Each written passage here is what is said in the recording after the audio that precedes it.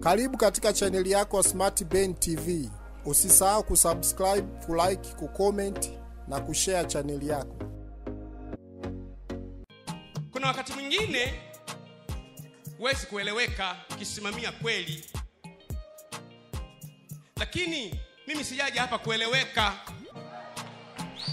Nimekuja ili nikwambie ambacho kinaweza kukupata.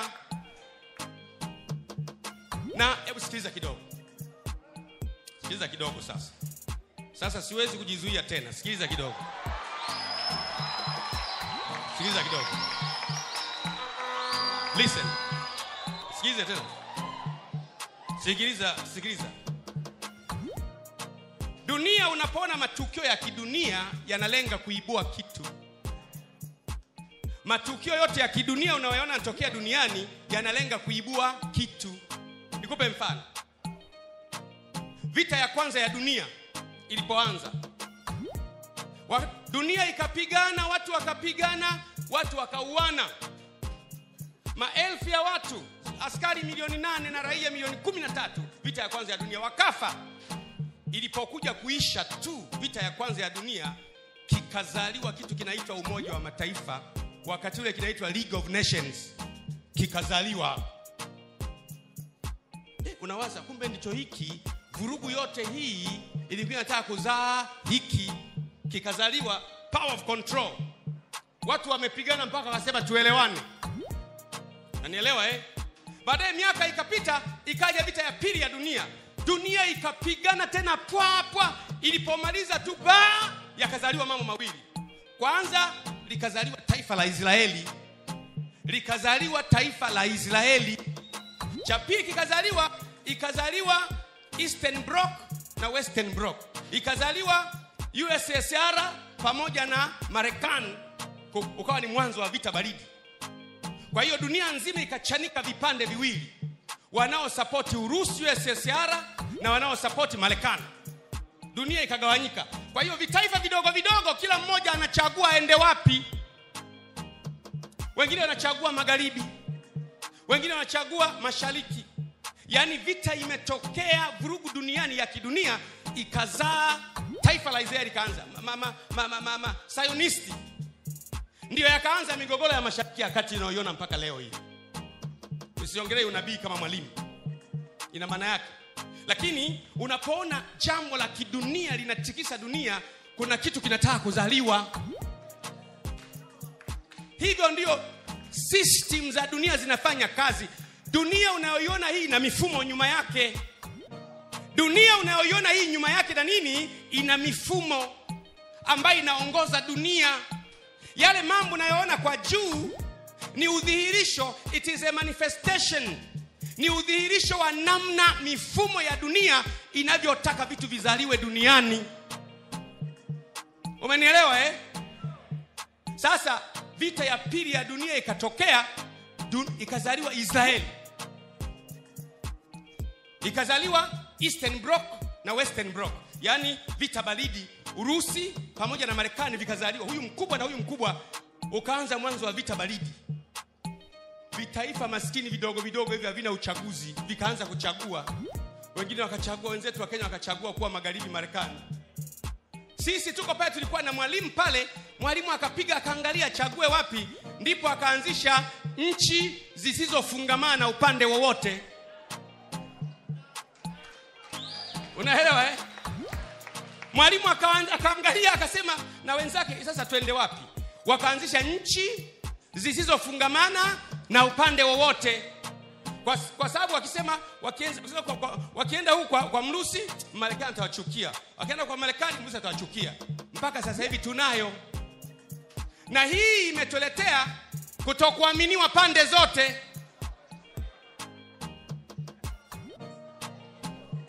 Unanielewa eh?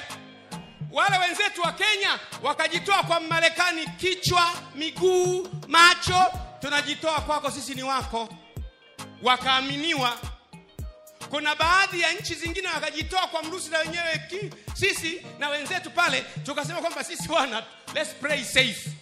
Kumbe ndio tunajimaliza hatua huku tunaaminiwa asilimia hamsini na huku tunaaminiwa asilimia hamsini tuko hivi Ndiyo maana mimi juzi niligundua mheshimiwa Mama Samia Suluhu Hassan ni mama mwenye akili. Alisema hivi, hata hii nana alignment tulionayo tunatakiwa tuiangalie inatusaidiaje. Nikajua huyu mama amegundua kitu, kwa sababu unahitaji kuwa na marafiki wa kufa na kupona. Huku hatupo na huku hatupo, tuko pale katikati. Lakini ilikuwa ni mtikisiko wa dunia ukazaa mambo hayo. Hii korona, mtikisiko wa dunia na yenyewe inazaa kitu. Sasa kuna viongozi wenye macho, hebu sema wenye macho, ambao wanaangalia mtikisiko wa dunia unapotokea, wana uwezo wa kuangalia nini kinataka kuzaliwa na nchi yao waiweke wapi, ili kitakapozaliwa kile kinachotaka kuzaliwa, nchi yao iende mahala fulani. That is what we call positioning your country. Unaangalia hivi hiki kitu kinataka kuzaa nini? Hivi hapa inataka kuzaliwa nini hapa? Unakaa unawaza, usikae tu kuwaza tu chanjo, chanjo jamani. Agenda ya dunia sio kuchanjwa na kutochanjwa. Wenye akili wanasema hii korona inalenga kuzaa nini baada ya hapa? Chanjo sio matokeo, matokeo yapo baada ya chanjo.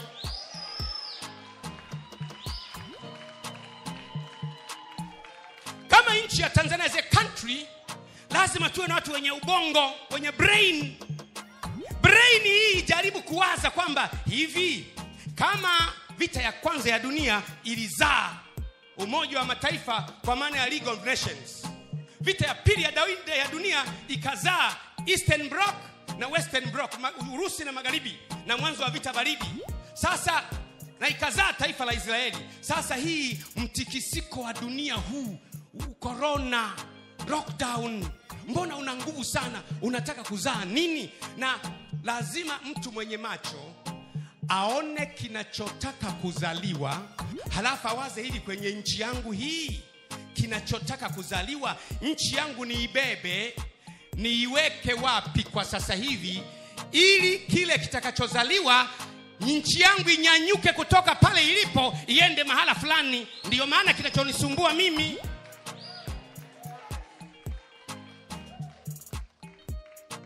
ukichukua misimamo ya dunia yote unakuwa kawaida kama dunia yote.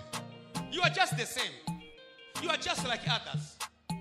Kwa mfano nikuulize kila mtu aliye hapa haukuja ufufuo na uzima kwa sababu ulikuwa huna dini. Kuna mwingine alikuwa mluteri mwingine alikuwa mwislamu mwingine alikuwa africa inland church mwingine alikuwa katoliki. Kitu gani kilikufanya hapa? Kilichokuleta hapa ni kwa sababu sisi hatufanani na wale tungekuwa tunafanana ungebaki na wale. The power of uniqueness. Our country must be pos- positioned as a unique country. Nchi yetu lazima tuiwe kama nchi ya peke yake. Na tuwe na watu ambao wanamzunguka mama samia suluhu hassan vijana.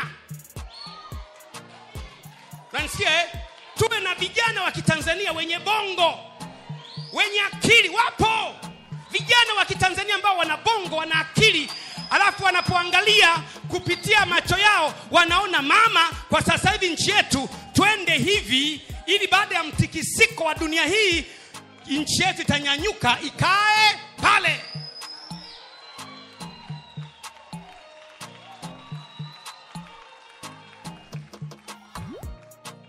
Na ndio maana mimi namshauri rais wangu hawa watumishi wa serikali injini za zamani piga chini.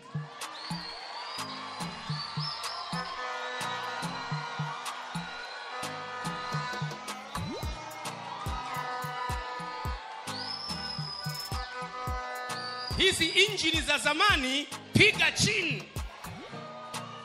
Hizi injini sio za kuoverhaul hizi injini sio za kufunga piston na ring hizi injini sio za kufanyia service. Hizi injini sio za kubadilishia oil na kubadilisha oil na filter. Hii ni, ni injini za ni injini za zamani. Piga chini.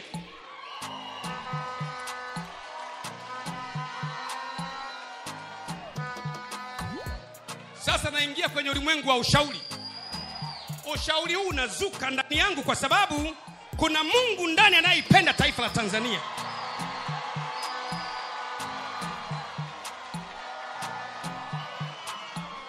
na huyu mungu si wa waislamu tu si wa wakristo tu ni mungu wa watu wote anayependa taifa lake liwe positioned mahali ili sasa tanzania ipae. Hebu sema paa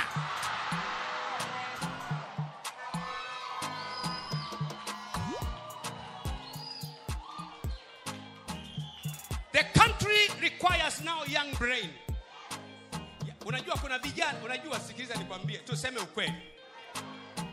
Wazee wetu wa kisasa si walaumu. Dunia imekuwa ya kimtandao. Instagram facebook si twitter si nini vitu ambavyo sisi ambao tumezaliwa kule mbali mpaka ukizoee ni ishu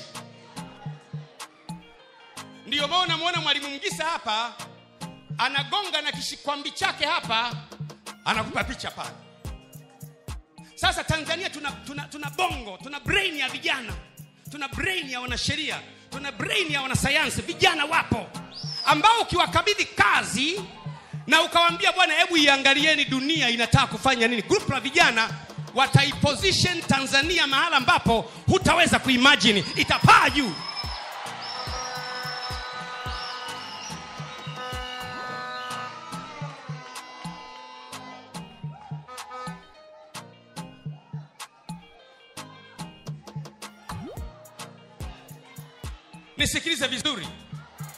nataka nchi fanya nini? Paa hebu sema paa hebu sema paa tanzania. Paa kiuchumi. Paa kiafya. Paa kijamii. Paa paa paa tanzania. Paa na mlima kilimanjaro. Paa paa fly. We want our country to boom and it will. Itaboom. Lakini ili, ili nchi pae tujue tuwe na macho ya kufoasi you see what African countries face is simply called poor planning and poor execution of these plans. Tuna tunapanga vibaya na hata kama tukipanga vizuri yale tuliyoyapanga hatuyafanyi.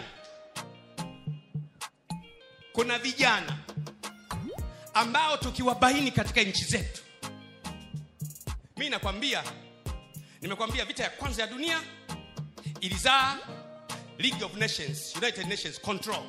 Vita ya pili ya dunia ikazaa vita baridi na mwanzo wa vita baridi magharibi na mashariki na taifa zile ikazaliwa. Hii vita ya kona inazaa kitu kinaitwa total control. Hebu sema total control. Kitazaliwa kinaitwa full control. Kitakachozaliwa sasa hivi ni full control, yaani watu wachache, asilimia moja ya dunia watamiliki kila mtu kwenye kishikwambi chao yaani kwenye ipad ya mtu kwenye ipad ya asilimia moja ya, ya watu walio duniani wataimiliki dunia yote. Na kama nchi yoyote si yetu tu isipoziposition vizuri jiandae kumilikiwa. Just a matter of time. Nchi yoyote isipojiandaa vizuri na ikajiweka panapopaswa itamilikiwa. Unajua maanaake nini? Maana yake ni hii. Maana yake ni hii kuna wakati mwingine huwezi kueleweka ukisimamia kweli. Lakini mimi sijaja hapa kueleweka. Nimekuja ili nikwambie ambacho kinaweza kukupata.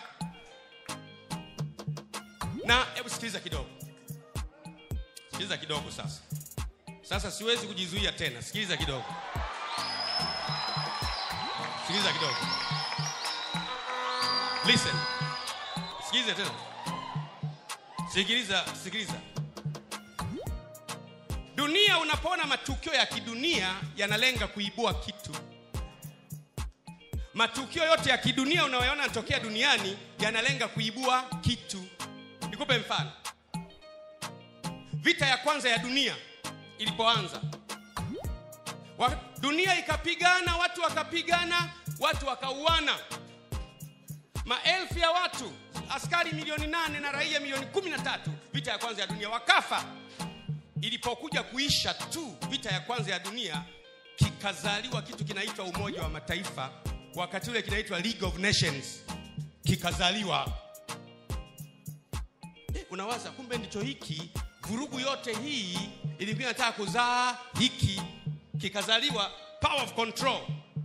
Watu wamepigana mpaka wakasema tuelewane nanielewa eh? baadaye miaka ikapita ikaja vita ya pili ya dunia. Dunia ikapigana tena pwapwa ilipomaliza tu baa yakazaliwa mambo mawili. Kwanza likazaliwa taifa la israeli. Likazaliwa taifa la israeli. Cha pili kikazaliwa ikazaliwa eastern bloc na western bloc.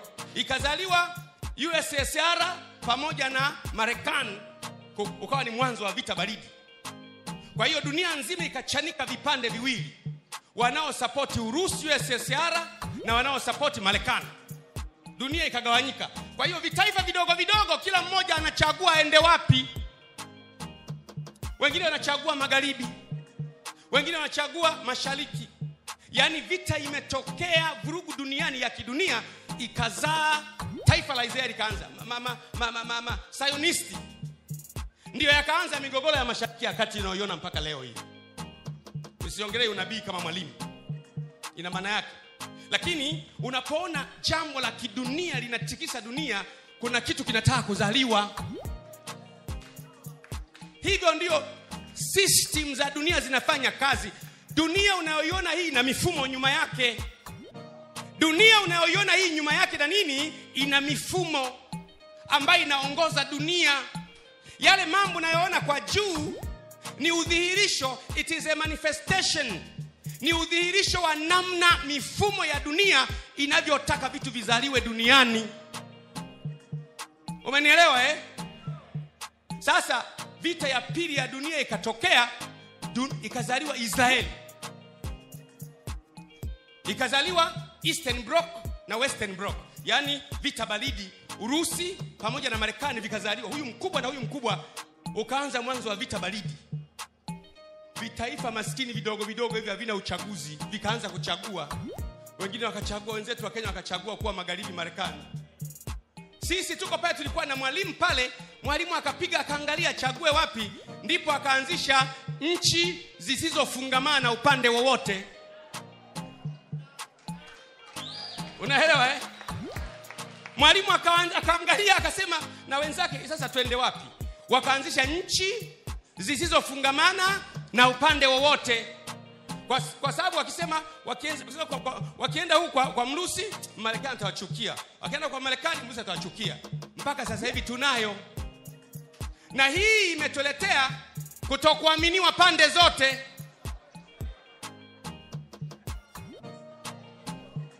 Unanielewa eh? Wale wenzetu wa kenya wakajitoa kwa marekani kichwa miguu macho. Tunajitoa kwako sisi ni wako. Wakaaminiwa. Kuna baadhi ya nchi zingine wakajitoa kwa mrusi na wenyewe ki, sisi na wenzetu pale tukasema kwamba sisi wana let's play safe. Kumbe ndio tunajimaliza. Hatua huku tunaaminiwa asilimia hamsini na huku tunaaminiwa asilimia hamsini tuko hivi ndio maana mimi juzi niligundua mheshimiwa mama samia suluhu hassan ni mama mwenye akili. Alisema hivi hata hii nana alignment tulionayo tunatakiwa tuiangalie inatusaidiaje. Nikajua huyu mama amegundua kitu. Kwa sababu unahitaji kuwa na marafiki wa kufa na kupona. Huku hatupo na huku hatupo tuko pale katikati. Lakini ilikuwa ni mtikisiko wa dunia ukazaa mambo hayo. Hii korona mtikisiko wa dunia na yenyewe inazaa kitu. Sasa kuna viongozi wenye macho. Hebu sema wenye macho. Ambao wanaangalia mtikisiko wa dunia unapotokea wana uwezo wa kuangalia nini kinataka kuzaliwa na nchi yao waiweke wapi ili kitakapozaliwa kile kinachotaka kuzaliwa nchi yao iende mahala fulani that is what we call positioning your country. Unaangalia hivi hiki kitu kinataka kuzaa nini? Hivi hapa inataka kuzaliwa nini hapa? Unakaa unawaza usikae tu kuwaza tu chanjo chanjo jamani. Agenda ya dunia sio kuchanjwa na kutochanjwa.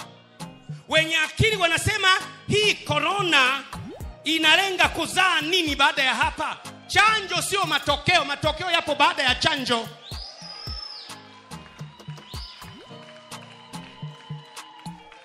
kama nchi ya tanzania as a country lazima tuwe na watu wenye ubongo wenye brain.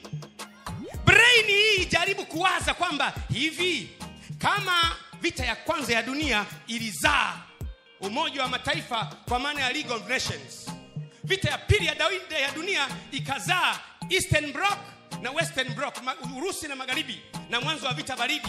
Sasa na ikazaa taifa la israeli. Sasa hii mtikisiko wa dunia huu korona lockdown. Mbona una nguvu sana? Unataka kuzaa nini? Na lazima mtu mwenye macho aone kinachotaka kuzaliwa halafu awaze hili kwenye nchi yangu hii. Kinachotaka kuzaliwa nchi yangu niibebe niiweke wapi kwa sasa hivi? Ili kile kitakachozaliwa nchi yangu inyanyuke kutoka pale ilipo iende mahala fulani. Ndiyo maana kinachonisumbua mimi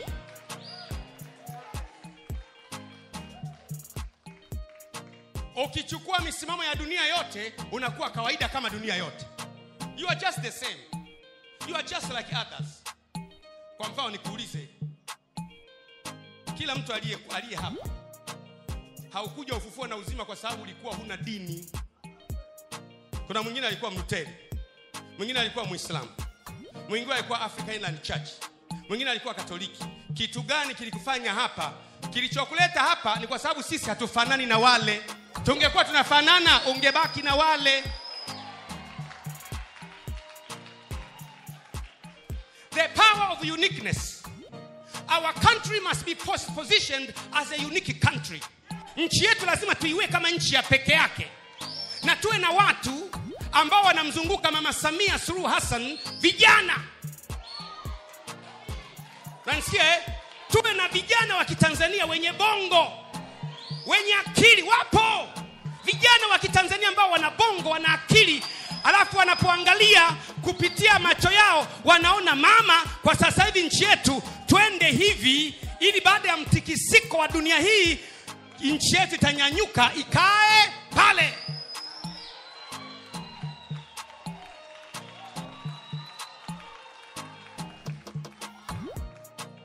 Na ndio maana mimi namshauri rais wangu hawa watumishi wa serikali injini za zamani piga chini.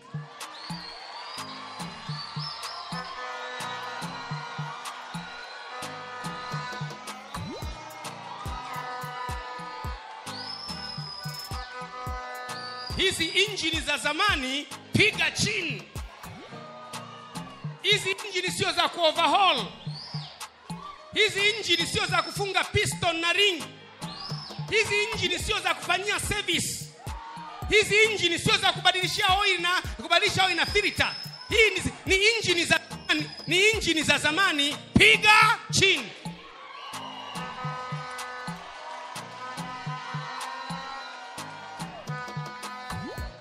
Sasa naingia kwenye ulimwengu wa ushauri. Ushauri huu unazuka ndani yangu kwa sababu kuna mungu ndani anayeipenda taifa la tanzania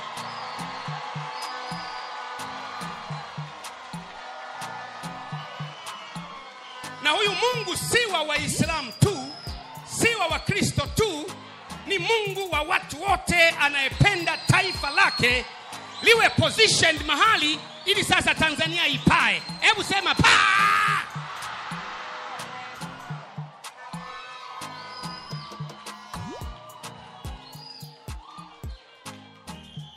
the country requires now young brain unajua kuna vijana unajua sikiliza nikwambie tuseme ukweli. Wazee wetu wa kisasa si walaumu. Dunia imekuwa ya kimtandao. Instagram facebook si twitter si nini. Vitu ambavyo sisi ambao tumezaliwa kule mbali mpaka ukizoee ni ishu ndiyo maana unamwona mwalimu mgisa hapa anagonga na kishikwambi chake hapa anakupa picha pale sasa tanzania tuna, tuna, tuna bongo tuna brain ya vijana tuna brain ya wanasheria tuna brain ya wanasayansi vijana wapo ambao ukiwakabidhi kazi na ukawambia bwana hebu iangalieni dunia inataka kufanya nini. Grupu la vijana wataiposition tanzania mahala ambapo hutaweza kuimajini itapaa juu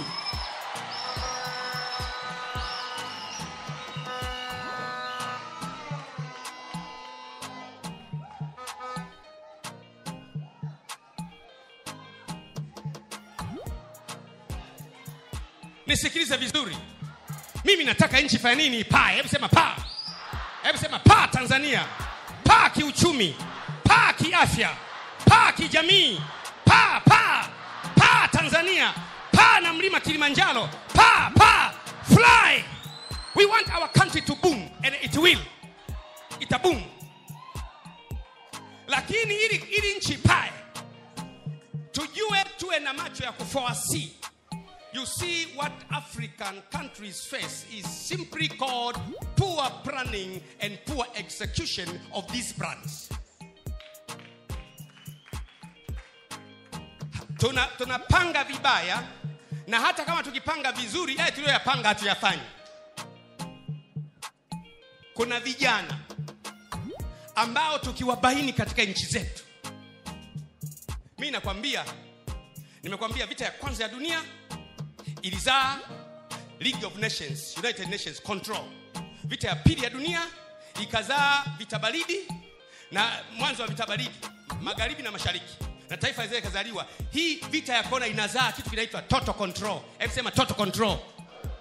Kitazaliwa kinaitwa full control. Kitakachozaliwa sasa hivi ni full control, yaani watu wachache, asilimia moja ya dunia watamiliki kila mtu kwenye kishikwambi chao yaani kwenye ipad ya mtu kwenye ipad ya asilimia moja ya, ya watu walio duniani wataimiliki dunia yote. Na kama nchi yoyote si yetu tu isipoziposition vizuri jiandae kumilikiwa. Just a matter of time. Nchi yoyote isipojiandaa vizuri na ikajiweka panapopaswa itamilikiwa. Unajua maana nini? Maana yake ni hii. Maana yake ni hii kuna wakati mwingine huwezi kueleweka ukisimamia kweli. Lakini mimi sijaja hapa kueleweka. Nimekuja ili nikwambie ambacho kinaweza kukupata. Na hebu sikiliza kidogo. Sikiliza kidogo sasa. Sasa siwezi kujizuia tena. Sikiliza kidogo. Sikiliza kidogo listen. Sikiliza tena. Sikiliza sikiliza. Dunia unapoona matukio ya kidunia yanalenga kuibua kitu. Matukio yote ya kidunia unayoona yanatokea duniani yanalenga kuibua kitu. Nikupe mfano. Vita ya kwanza ya dunia ilipoanza. Dunia ikapigana watu wakapigana watu wakauana maelfu ya watu askari milioni nane na raia milioni kumi na tatu vita ya kwanza ya dunia wakafa. Ilipokuja kuisha tu vita ya kwanza ya dunia kikazaliwa kitu kinaitwa umoja wa mataifa. Wakati ule kinaitwa league of nations kikazaliwa. Eh, unawaza kumbe ndicho hiki? Vurugu yote hii ilikuwa inataka kuzaa hiki. Kikazaliwa power of control. Watu wamepigana mpaka wakasema tuelewane nanielewa eh? baadaye miaka ikapita ikaja vita ya pili ya dunia. Dunia ikapigana tena pwapwa ilipomaliza tu ba yakazaliwa mambo mawili. Kwanza likazaliwa taifa la israeli. Likazaliwa taifa la israeli. Cha pili kikazaliwa ikazaliwa eastern bloc na western bloc. Ikazaliwa ussr pamoja na marekani. Ukawa ni mwanzo wa vita baridi kwa hiyo dunia nzima ikachanika vipande viwili. Wanaosapoti urusi ussr na wanaosapoti marekani. Dunia ikagawanyika. Kwa hiyo vitaifa vidogo vidogo kila mmoja anachagua aende wapi. Wengine wanachagua magharibi. Wengine wanachagua mashariki. Yaani vita imetokea vurugu duniani ya kidunia ikazaa. Taifa la israeli ikaanza. Mama, mama, mama, sayonisti ndiyo yakaanza migogoro ya mashariki ya kati inayoiona mpaka leo hii. Usiongelee unabii kama mwalimu. Ina maana yake. Lakini unapoona jambo la kidunia linatikisa dunia kuna kitu kinataka kuzaliwa. Hivyo ndio system za dunia zinafanya kazi. Dunia unayoiona hii ina mifumo nyuma yake. Dunia unayoiona hii nyuma yake na nini? Ina mifumo ambayo inaongoza dunia yale mambo unayoona kwa juu ni udhihirisho it is a manifestation. Ni udhihirisho wa namna mifumo ya dunia inavyotaka vitu vizaliwe duniani. Umenielewa eh? sasa vita ya pili ya dunia ikatokea dun, ikazaliwa israeli. Ikazaliwa eastern bloc na western bloc. Yaani vita baridi urusi pamoja na marekani vikazaliwa. Huyu mkubwa na huyu mkubwa ukaanza mwanzo wa vita baridi. Vitaifa maskini vidogo vidogo hivi havina uchaguzi vikaanza kuchagua. Wengine wakachagua wenzetu wa kenya wakachagua kuwa magharibi marekani. Sisi tuko pale tulikuwa na mwalimu pale mwalimu akapiga akaangalia chague wapi. Ndipo akaanzisha nchi zisizofungamana upande wowote. Unaelewa eh? Mwalimu akaangalia akasema na wenzake sasa twende wapi? Wakaanzisha nchi zisizofungamana na upande wowote. Kwa, kwa sababu wakisema wakienda, kwa, kwa, wakienda huku kwa, kwa mrusi marekani atawachukia. Wakienda kwa marekani mrusi atawachukia. Mpaka sasa hivi tunayo. Na hii imetuletea kutokuaminiwa pande zote.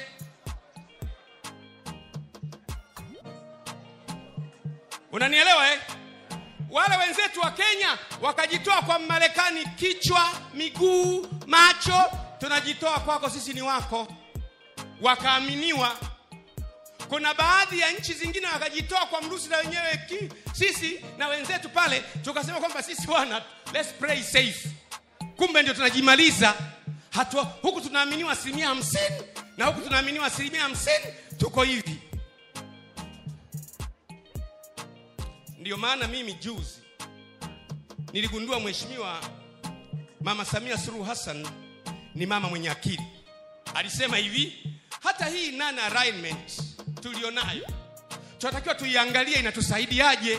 Nikajua huyu mama amegundua kitu. Kwa sababu unahitaji kuwa na marafiki wa kufa na kupona. Huku hatupo na huku hatupo tuko pale katikati.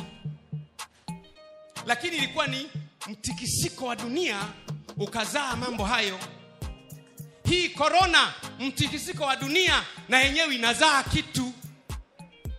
Sasa kuna viongozi wenye macho. Hebu sema wenye macho. Ambao wanaangalia mtikisiko wa dunia unapotokea wana uwezo wa kuangalia nini kinataka kuzaliwa na nchi yao waiweke wapi ili kitakapozaliwa kile kinachotaka kuzaliwa nchi yao iende mahala fulani that is what we call positioning your country. Unaangalia hivi hiki kitu kinataka kuzaa nini? Hivi hapa inataka kuzaliwa nini hapa? Unakaa unawaza usikae tu kuwaza tu chanjo chanjo jamani. Agenda ya dunia sio kuchanjwa na kutochanjwa. Wenye akili wanasema hii korona inalenga kuzaa nini baada ya hapa? Chanjo sio matokeo matokeo yapo baada ya chanjo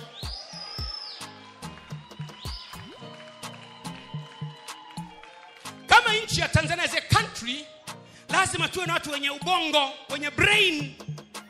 Brain hii jaribu kuwaza kwamba hivi kama vita ya kwanza ya dunia ilizaa umoja wa mataifa kwa maana ya league of nations vita ya pili ya, dawida ya dunia ikazaa eastern bloc na western bloc urusi na magharibi na mwanzo wa vita baridi sasa na ikazaa taifa la israeli. Sasa hii mtikisiko wa dunia huu korona lockdown. Mbona una nguvu sana? Unataka kuzaa nini? Na lazima mtu mwenye macho aone kinachotaka kuzaliwa halafu awaze hili kwenye nchi yangu hii. Kinachotaka kuzaliwa nchi yangu niibebe niiweke wapi kwa sasa hivi? Ili kile kitakachozaliwa nchi yangu inyanyuke kutoka pale ilipo iende mahala fulani. Ndiyo maana kinachonisumbua mimi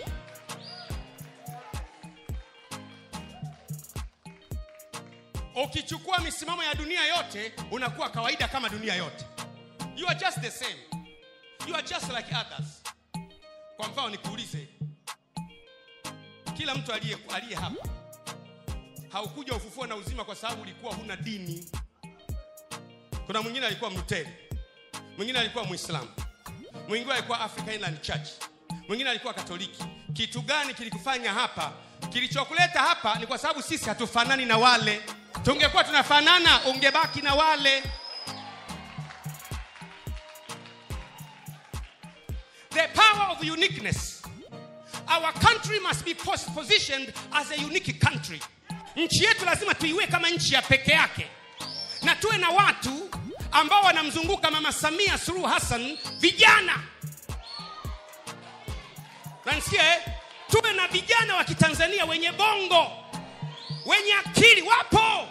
Vijana wa kitanzania ambao wana bongo wana akili alafu wanapoangalia kupitia macho yao wanaona mama kwa sasa hivi nchi yetu twende hivi ili baada ya mtikisiko wa dunia hii nchi yetu itanyanyuka ikae pale.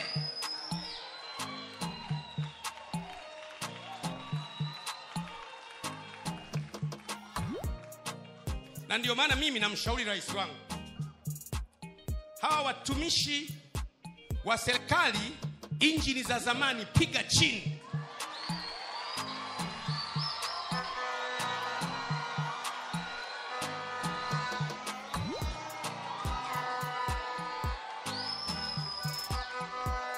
Hizi injini za zamani piga chini.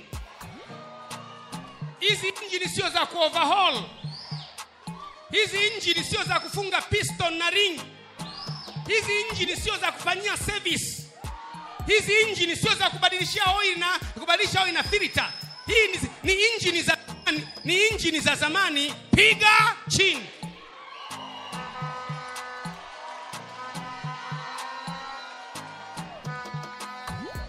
Sasa naingia kwenye ulimwengu wa ushauri. Ushauri huu unazuka ndani yangu kwa sababu kuna mungu ndani anayeipenda taifa la tanzania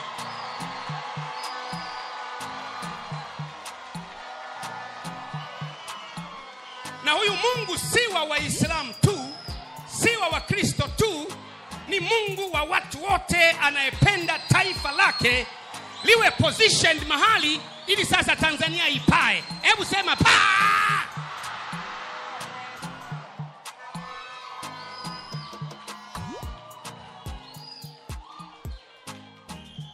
the country requires now young brain unajua kuna vijana unajua sikiliza nikwambie tuseme ukweli. Wazee wetu wa kisasa si walaumu. Dunia imekuwa ya kimtandao. Instagram facebook si twitter si nini vitu ambavyo sisi ambao tumezaliwa kule mbali mpaka ukizoee ni ishu ndiyo maana unamwona mwalimu mgisa hapa anagonga na kishikwambi chake hapa anakupa picha pale sasa tanzania tuna, tuna, tuna bongo tuna brain ya vijana tuna brain ya wanasheria tuna brain ya wanasayansi vijana wapo ambao ukiwakabidhi kazi na ukawambia bwana hebu iangalieni dunia inataka kufanya nini. Grupu la vijana wataiposition tanzania mahala ambapo hutaweza kuimajini itapaa juu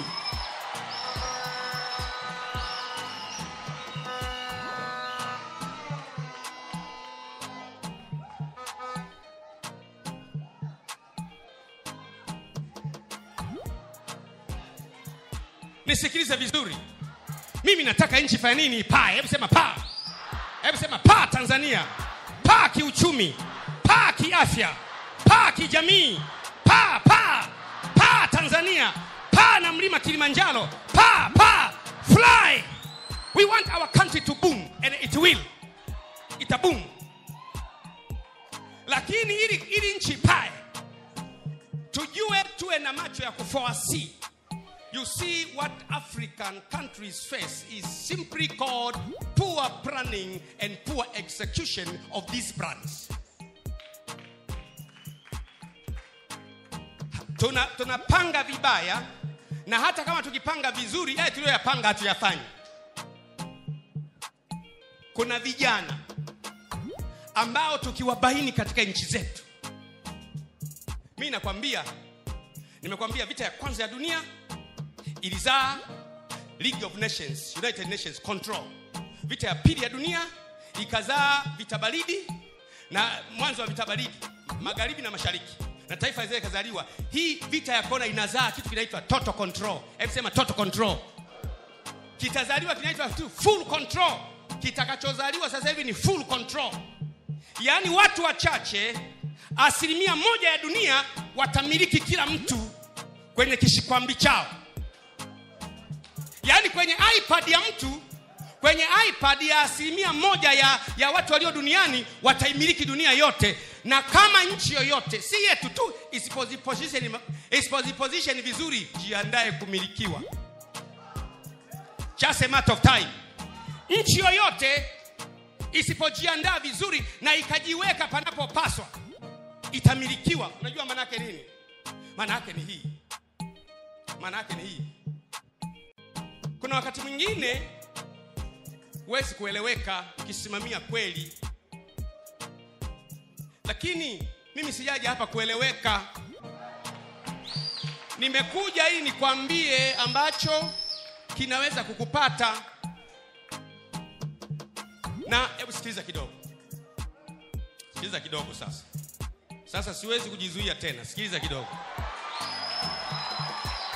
Sikiliza kidogo listen. Sikiliza tena. Sikiliza sikiliza. Dunia unapoona matukio ya kidunia yanalenga kuibua kitu.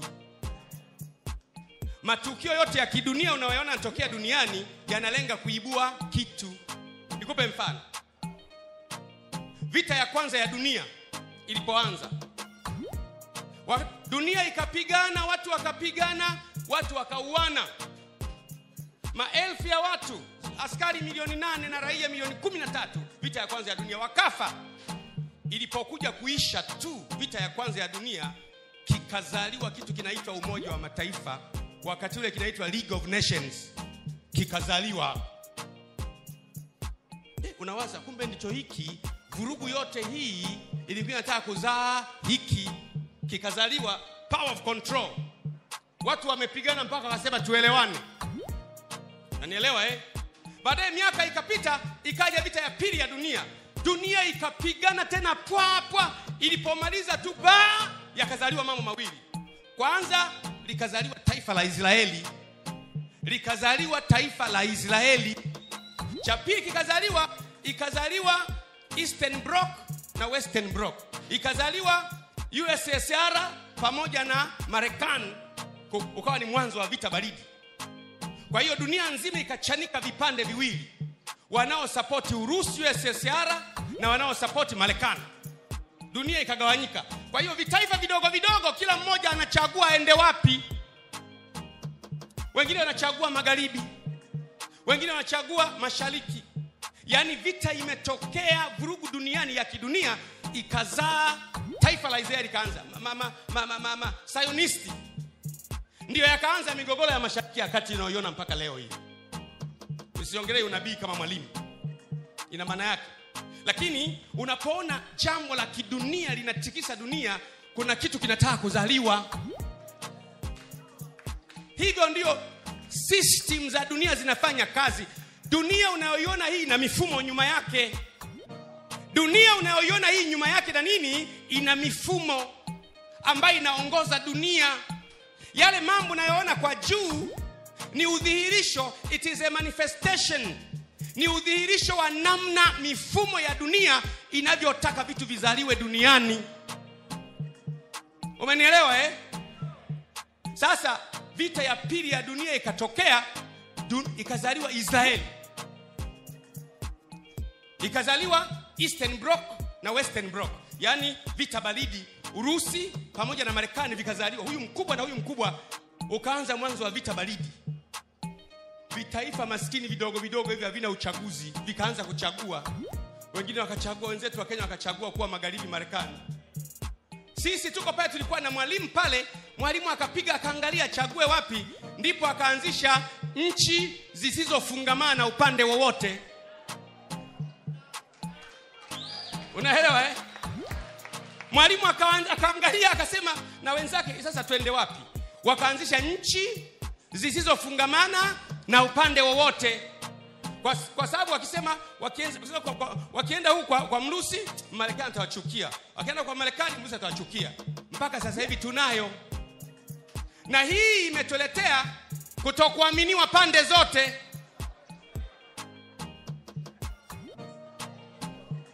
Unanielewa eh?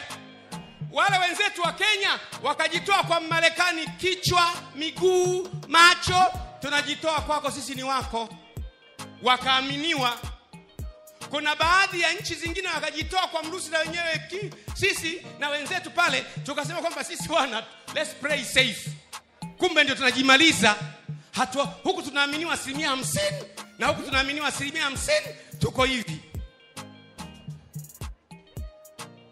ndiyo maana mimi juzi niligundua mheshimiwa mama samia suluhu hassan ni mama mwenye akili. Alisema hivi hata hii nana alignment tulionayo tunatakiwa tuiangalie inatusaidiaje. Nikajua huyu mama amegundua kitu.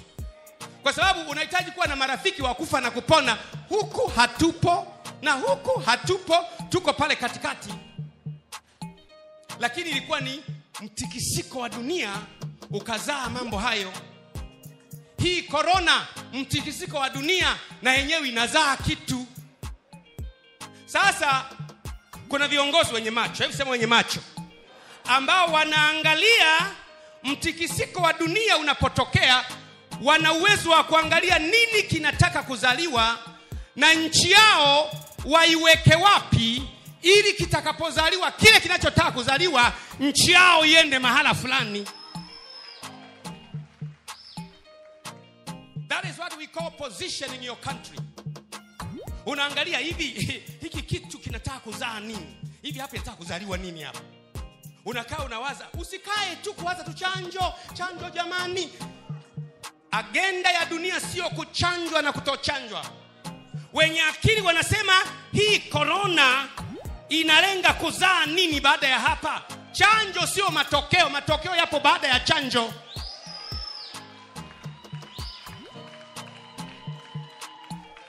kama nchi ya tanzania as a country lazima tuwe na watu wenye ubongo wenye brain.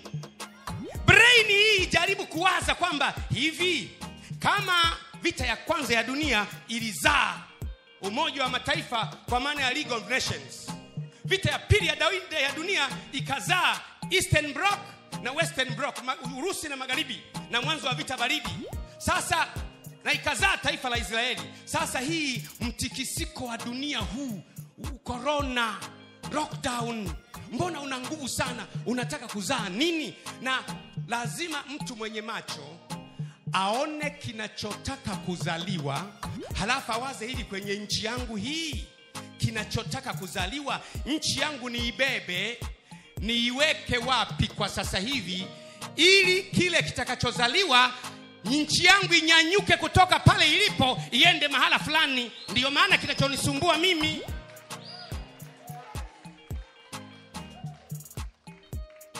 ukichukua misimamo ya dunia yote unakuwa kawaida kama dunia yote. You are just the same. You are just like others. Kwa mfano nikuulize. Kila mtu aliye aliye hapa haukuja ufufuo na uzima kwa sababu ulikuwa huna dini. Kuna mwingine alikuwa mluteri. Mwingine alikuwa mwislamu mwingine alikuwa african Inland church. Mwingine alikuwa katoliki. Kitu gani kilikufanya hapa? Kilichokuleta hapa ni kwa sababu sisi hatufanani na wale tungekuwa tunafanana ungebaki na wale. The power of uniqueness. Our country must be pos- positioned as a unique country. Nchi yetu lazima tuiwe kama nchi ya peke yake. Na tuwe na watu ambao wanamzunguka mama samia suluhu hassan vijana. Nanisikia eh? tuwe na vijana wa kitanzania wenye bongo wenye akili wapo. Vijana wa kitanzania ambao wana bongo wana akili alafu wanapoangalia kupitia macho yao wanaona mama kwa sasa hivi nchi yetu twende hivi ili baada ya mtikisiko wa dunia hii nchi yetu itanyanyuka ikae pale.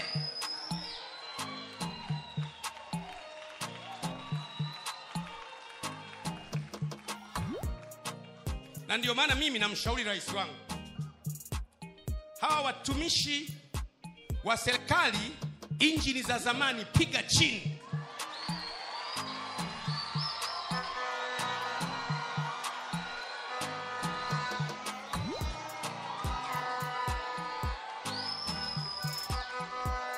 Hizi injini za zamani piga chini. Hizi injini sio za kuoverhaul hizi injini sio za kufunga piston na ring hizi injini sio za kufanyia service. Hizi injini sio za kubadilishia oil na kubadilisha oil na filter. Hii ni, ni injini za ni injini za zamani. Piga chini.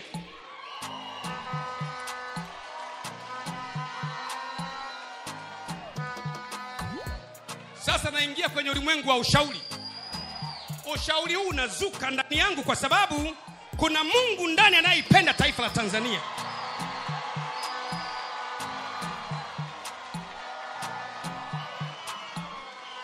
mungu si wa waislamu tu si wa wakristo tu ni mungu wa watu wote anayependa taifa lake liwe positioned mahali ili sasa tanzania ipae. Hebu sema paa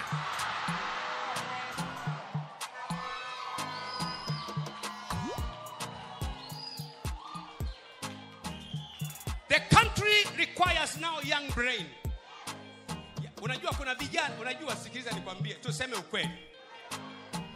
Wazee wetu wa kisasa si walaumu. Dunia imekuwa ya kimtandao. Instagram facebook si twitter si nini vitu ambavyo sisi ambao tumezaliwa kule mbali mpaka ukizoee ni ishu ndiyo maana unamwona mwalimu mgisa hapa anagonga na kishikwambi chake hapa anakupa picha pale sasa tanzania tuna, tuna, tuna bongo tuna brain ya vijana tuna brain ya wanasheria tuna brain ya wanasayansi. Vijana wapo ambao ukiwakabidhi kazi na ukawambia bwana hebu iangalieni dunia inataka kufanya nini. Grupu la vijana wataiposition tanzania mahala ambapo hutaweza kuimajini itapaa juu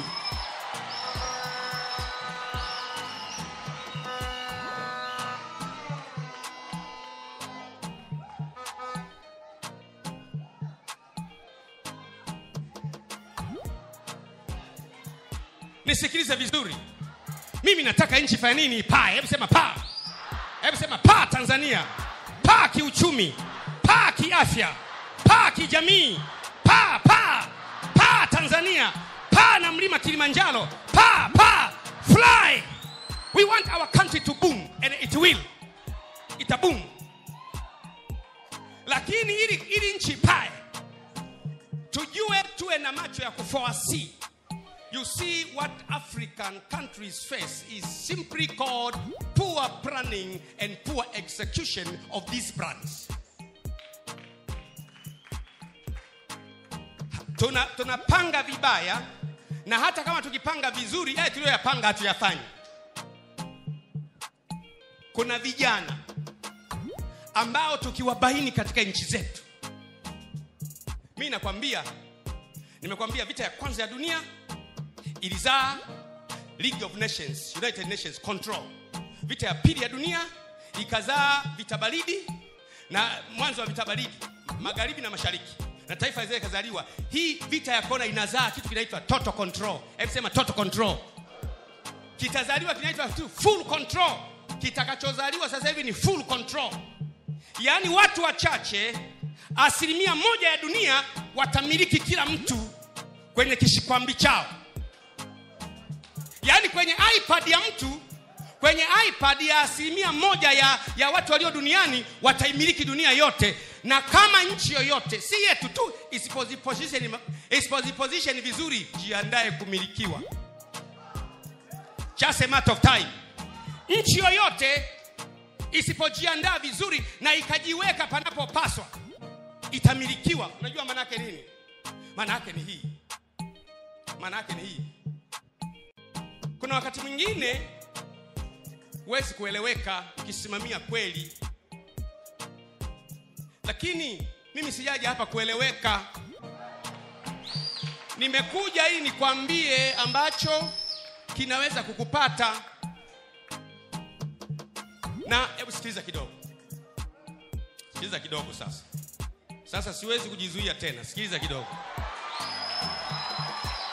Sikiliza kidogo listen. Sikiliza tena. Sikiliza sikiliza. Dunia unapoona matukio ya kidunia yanalenga kuibua kitu. Matukio yote ya kidunia unayoona yanatokea duniani yanalenga kuibua kitu. Nikupe mfano. Vita ya kwanza ya dunia ilipoanza. Dunia ikapigana watu wakapigana watu wakauana maelfu ya watu askari milioni nane na raia milioni kumi na tatu vita ya kwanza ya dunia wakafa. Ilipokuja kuisha tu vita ya kwanza ya dunia kikazaliwa kitu kinaitwa umoja wa mataifa. Wakati ule kinaitwa league of nations kikazaliwa. E, unawaza kumbe ndicho hiki? Vurugu yote hii ilikuwa inataka kuzaa hiki. Kikazaliwa power of control. Watu wamepigana mpaka wakasema tuelewane nanielewa eh? baadaye miaka ikapita ikaja vita ya pili ya dunia. Dunia ikapigana tena pwapwa ilipomaliza tu ba yakazaliwa mambo mawili. Kwanza likazaliwa taifa la israeli. Likazaliwa taifa la israeli. Cha pili kikazaliwa ikazaliwa eastern bloc na western bloc. Ikazaliwa ussr pamoja na marekani. Ukawa ni mwanzo wa vita baridi kwa hiyo dunia nzima ikachanika vipande viwili. Wanaosapoti urusi ussr na wanaosapoti marekani. Dunia ikagawanyika. Kwa hiyo vitaifa vidogo vidogo kila mmoja anachagua aende wapi. Wengine wanachagua magharibi. Wengine wanachagua mashariki. Yaani vita imetokea vurugu duniani ya kidunia ikazaa taifa la israeli ikaanza. Ma, ma, ma, ma, ma, ma, sayonisti ndiyo yakaanza migogoro ya mashariki ya kati inayoiona mpaka leo hii. Usiongelee unabii kama mwalimu. Ina maana yake. Lakini unapoona jambo la kidunia linatikisa dunia kuna kitu kinataka kuzaliwa. Hivyo ndio system za dunia zinafanya kazi. Dunia unayoiona hii na mifumo nyuma yake. Dunia unayoiona hii nyuma yake na nini? Ina mifumo ambayo inaongoza dunia yale mambo unayoona kwa juu ni udhihirisho it is a manifestation. Ni udhihirisho wa namna mifumo ya dunia inavyotaka vitu vizaliwe duniani. Umenielewa eh? sasa vita ya pili ya dunia ikatokea dun, ikazaliwa israeli. Ikazaliwa eastern bloc na western bloc yaani vita baridi urusi pamoja na marekani vikazaliwa. Huyu mkubwa na huyu mkubwa ukaanza mwanzo wa vita baridi. Vitaifa maskini vidogo vidogo hivi havina uchaguzi vikaanza kuchagua. Wengine wakachagua wenzetu wa kenya wakachagua kuwa magharibi marekani. Sisi tuko pale tulikuwa na mwalimu pale mwalimu akapiga akaangalia achague wapi. Ndipo akaanzisha nchi zisizofungamana upande wowote. Unaelewa eh? Mwalimu akaangalia akasema na wenzake sasa twende wapi? Wakaanzisha nchi zisizofungamana na upande wowote. Kwa, kwa sababu wakisema wakienda, kwa, kwa, kwa, kwa mrusi marekani atawachukia. Wakienda kwa marekani mrusi atawachukia. Mpaka sasa hivi tunayo. Na hii imetuletea kutokuaminiwa pande zote.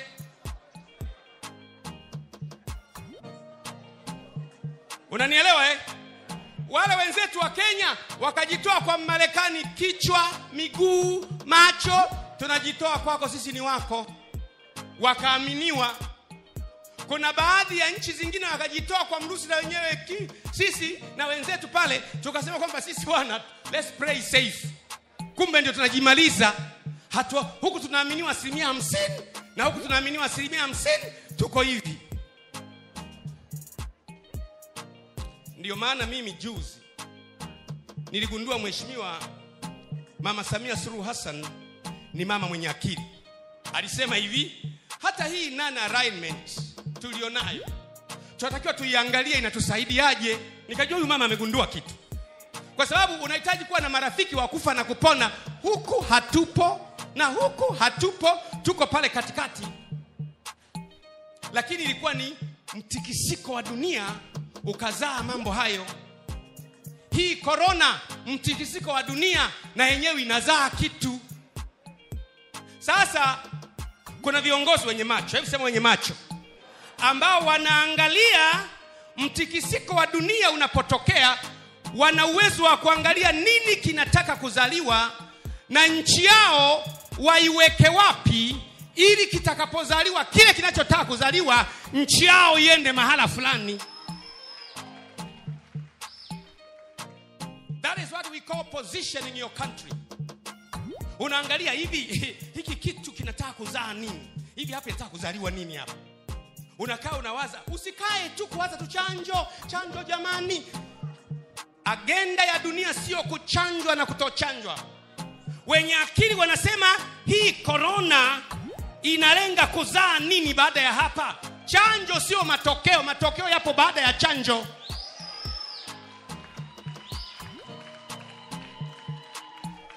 kama nchi ya tanzania as a country lazima tuwe na watu wenye ubongo wenye brain.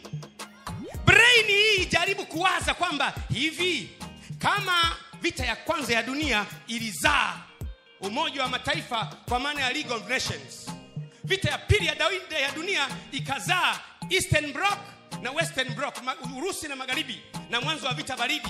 Sasa na ikazaa taifa la israeli. Sasa hii mtikisiko wa dunia huu huu corona lockdown. Mbona una nguvu sana? Unataka kuzaa nini? Na lazima mtu mwenye macho aone kinachotaka kuzaliwa halafu awaze hili kwenye nchi yangu hii. Kinachotaka kuzaliwa nchi yangu niibebe niiweke wapi kwa sasa hivi ili kile kitakachozaliwa nchi yangu inyanyuke kutoka pale ilipo iende mahala fulani. Ndiyo maana kinachonisumbua mimi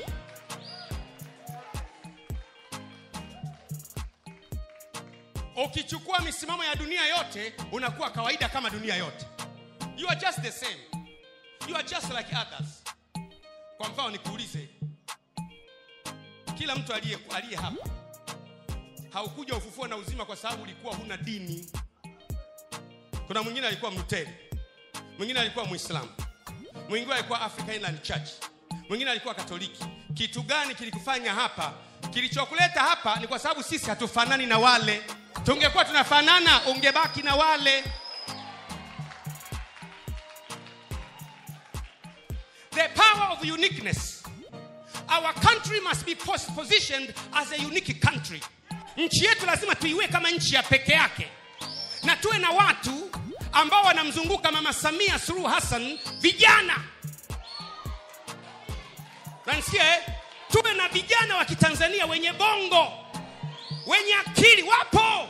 Vijana wa kitanzania ambao wana bongo wana akili alafu wanapoangalia kupitia macho yao wanaona mama kwa sasa hivi nchi yetu twende hivi ili baada ya mtikisiko wa dunia hii nchi yetu itanyanyuka ikae pale.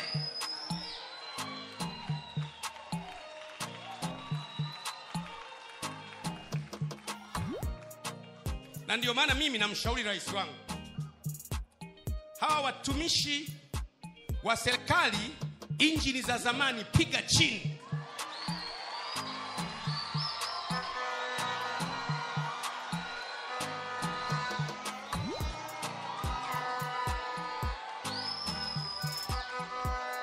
Hizi injini za zamani piga chini.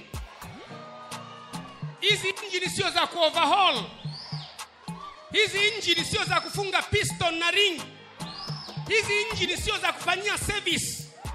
Hizi injini sio za kubadilishia oil na kubadilisha oil na filter.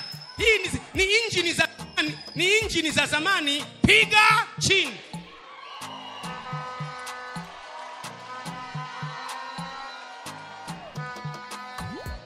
Sasa naingia kwenye ulimwengu wa ushauri. Ushauri huu unazuka ndani yangu kwa sababu kuna mungu ndani anayeipenda taifa la tanzania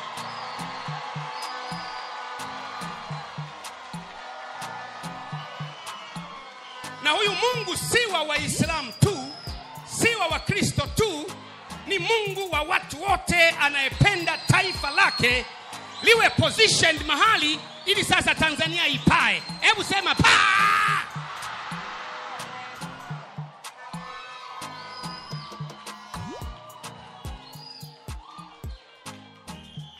The country requires now young brain unajua kuna vijana unajua sikiliza nikwambie tuseme ukweli.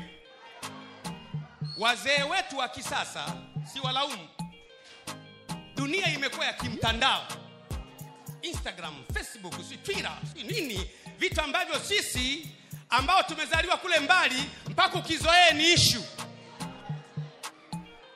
ndiyo maana unamwona mwalimu mgisa hapa anagonga na kishikwambi chake hapa anakupa picha pale sasa tanzania tuna, tuna, tuna bongo tuna brain ya vijana tuna brain ya wanasheria tuna brain ya wanasayansi vijana wapo ambao ukiwakabidhi kazi na ukawambia bwana hebu iangalieni dunia inataka kufanya nini. Group la vijana wataiposition tanzania mahala ambapo hutaweza kuimajini itapaa juu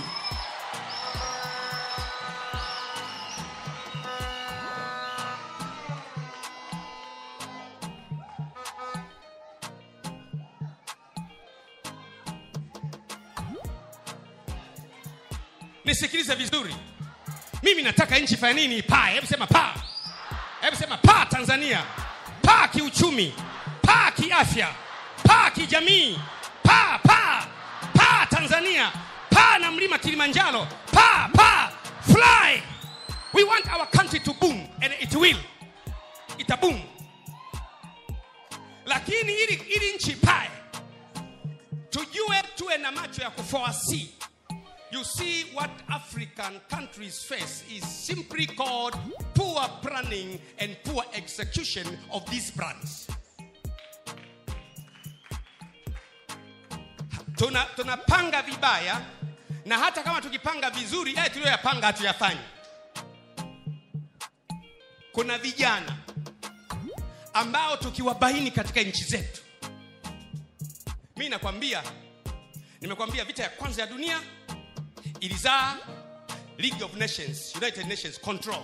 Vita ya pili ya dunia ikazaa vita baridi na mwanzo wa vita baridi magharibi na mashariki na taifa zile kazaliwa. Hii vita ya kona inazaa kitu kinaitwa total control. Hebu sema total control. Kitazaliwa kinaitwa tu full control. Kitakachozaliwa sasa hivi ni full control, yaani watu wachache, asilimia moja ya dunia watamiliki kila mtu kwenye kishikwambi chao yaani kwenye ipad ya mtu kwenye ipad ya asilimia moja ya, ya watu walio duniani wataimiliki dunia yote. Na kama nchi yoyote si yetu tu isipoziposition isipoziposition vizuri jiandae kumilikiwa. Just a matter of time. Nchi yoyote isipojiandaa vizuri na ikajiweka panapopaswa itamilikiwa. Unajua maana yake nini? Maana yake ni hii. Maana yake ni hii kuna wakati mwingine huwezi kueleweka ukisimamia kweli. Lakini mimi sijaja hapa kueleweka. Nimekuja ili nikwambie ambacho kinaweza kukupata. Na hebu sikiliza kidogo. Sikiliza kidogo sasa. Sasa siwezi kujizuia tena. Sikiliza kidogo. Sikiliza kidogo listen. Sikiliza tena. Sikiliza sikiliza. Dunia unapoona matukio ya kidunia yanalenga kuibua kitu. Matukio yote ya kidunia unayoona yanatokea duniani yanalenga kuibua kitu. Nikupe mfano. Vita ya kwanza ya dunia ilipoanza.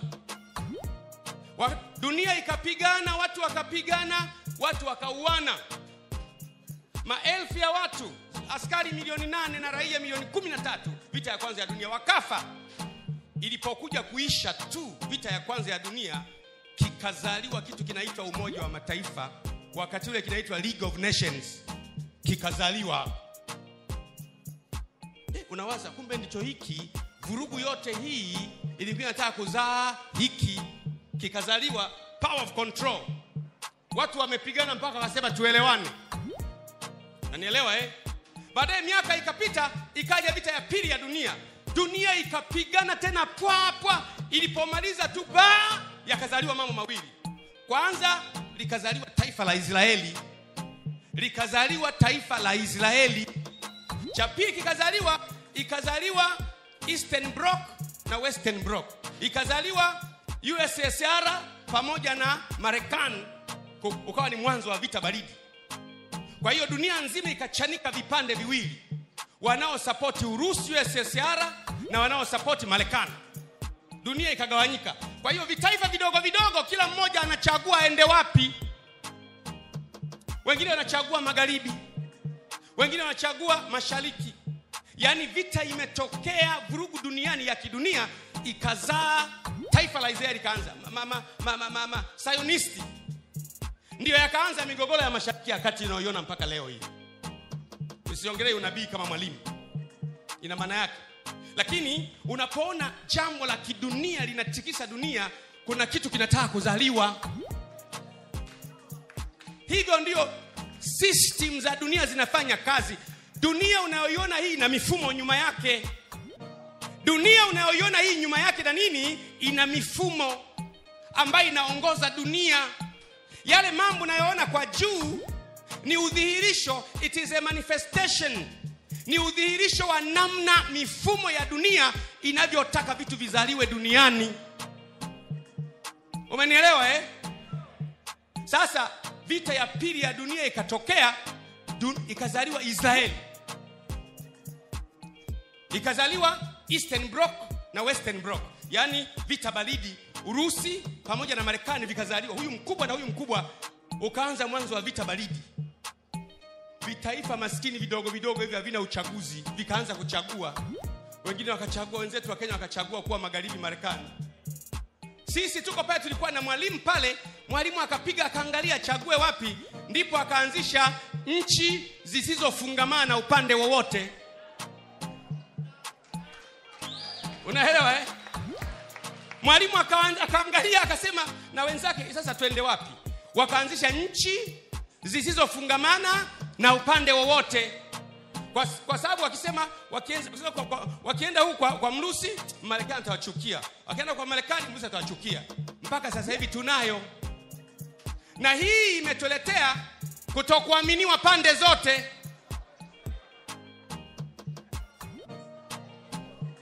Unanielewa eh? Wale wenzetu wa kenya wakajitoa kwa marekani kichwa miguu macho. Tunajitoa kwako sisi ni wako.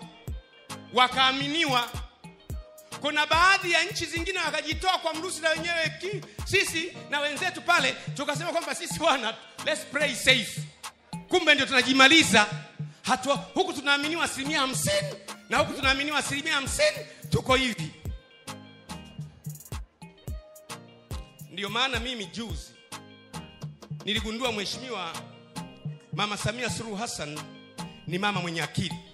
Alisema hivi hata hii nana alignment tulionayo tunatakiwa tuiangalie inatusaidiaje. Nikajua huyu mama amegundua kitu. Kwa sababu unahitaji kuwa na marafiki wa kufa na kupona huku hatupo na huku hatupo tuko pale katikati. Lakini ilikuwa ni mtikisiko wa dunia ukazaa mambo hayo. Hii korona mtikisiko wa dunia na yenyewe inazaa kitu. Sasa kuna viongozi wenye macho. Hebu sema wenye macho.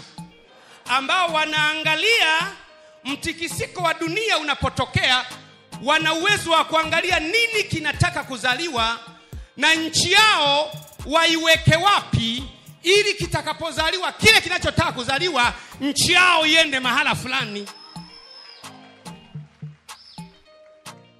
that is what we call position in your country. Unaangalia hivi hiki kitu kinataka kuzaa nini? Hivi hapa inataka kuzaliwa nini hapa? Unakaa unawaza usikae tu kuwaza tu chanjo chanjo jamani. Agenda ya dunia sio kuchanjwa na kutochanjwa. Wenye akili wanasema hii korona inalenga kuzaa nini baada ya hapa? Chanjo sio matokeo matokeo yapo baada ya chanjo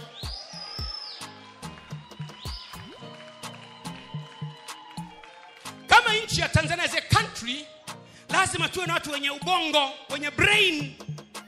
Brain hii ijaribu kuwaza kwamba hivi kama vita ya kwanza ya dunia ilizaa umoja wa mataifa kwa maana ya league of nations vita ya pili ya, Dawinde ya dunia ikazaa eastern bloc na western bloc urusi na magharibi na mwanzo wa vita baridi.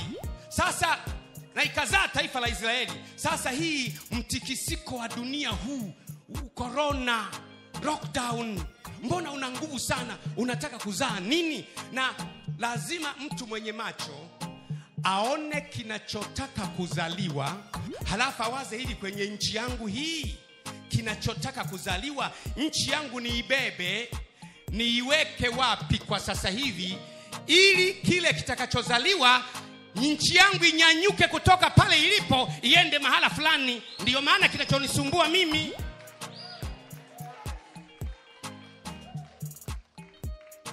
ukichukua misimamo ya dunia yote unakuwa kawaida kama dunia yote. You are just the same. You are just like others. Kwa mfano nikuulize kila mtu aliye aliye hapa haukuja ufufuo na uzima kwa sababu ulikuwa huna dini. Kuna mwingine alikuwa mluteri mwingine alikuwa mwislamu mwingine alikuwa africa Inland church mwingine alikuwa katoliki. Kitu gani kilikufanya hapa? Kilichokuleta hapa ni kwa sababu sisi hatufanani na wale tungekuwa tunafanana ungebaki na wale. The power of uniqueness. Our country must be positioned as a unique country. Nchi yetu lazima tuiwe kama nchi ya peke yake. Na tuwe na watu ambao wanamzunguka mama samia suluhu hassan vijana. Nanisikia eh? tuwe na vijana wa kitanzania wenye bongo wenye akili wapo. Vijana wa kitanzania ambao wana bongo wana akili alafu wanapoangalia kupitia macho yao wanaona mama kwa sasa hivi nchi yetu twende hivi ili baada ya mtikisiko wa dunia hii nchi yetu itanyanyuka ikae pale.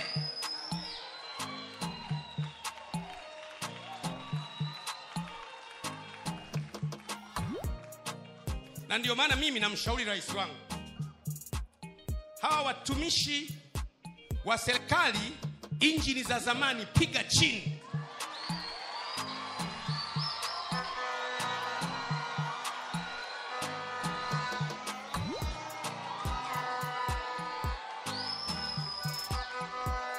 Hizi injini za zamani piga chini.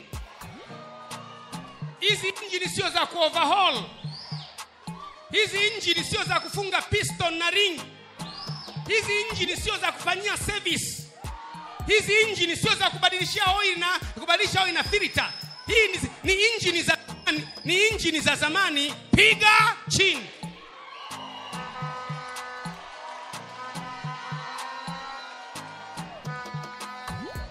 Sasa naingia kwenye ulimwengu wa ushauri.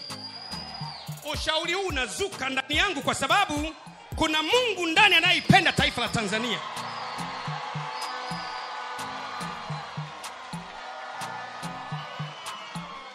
na huyu mungu si wa waislamu tu si wa wakristo tu ni mungu wa watu wote anayependa taifa lake liwe positioned mahali ili sasa tanzania ipae. Hebu sema paa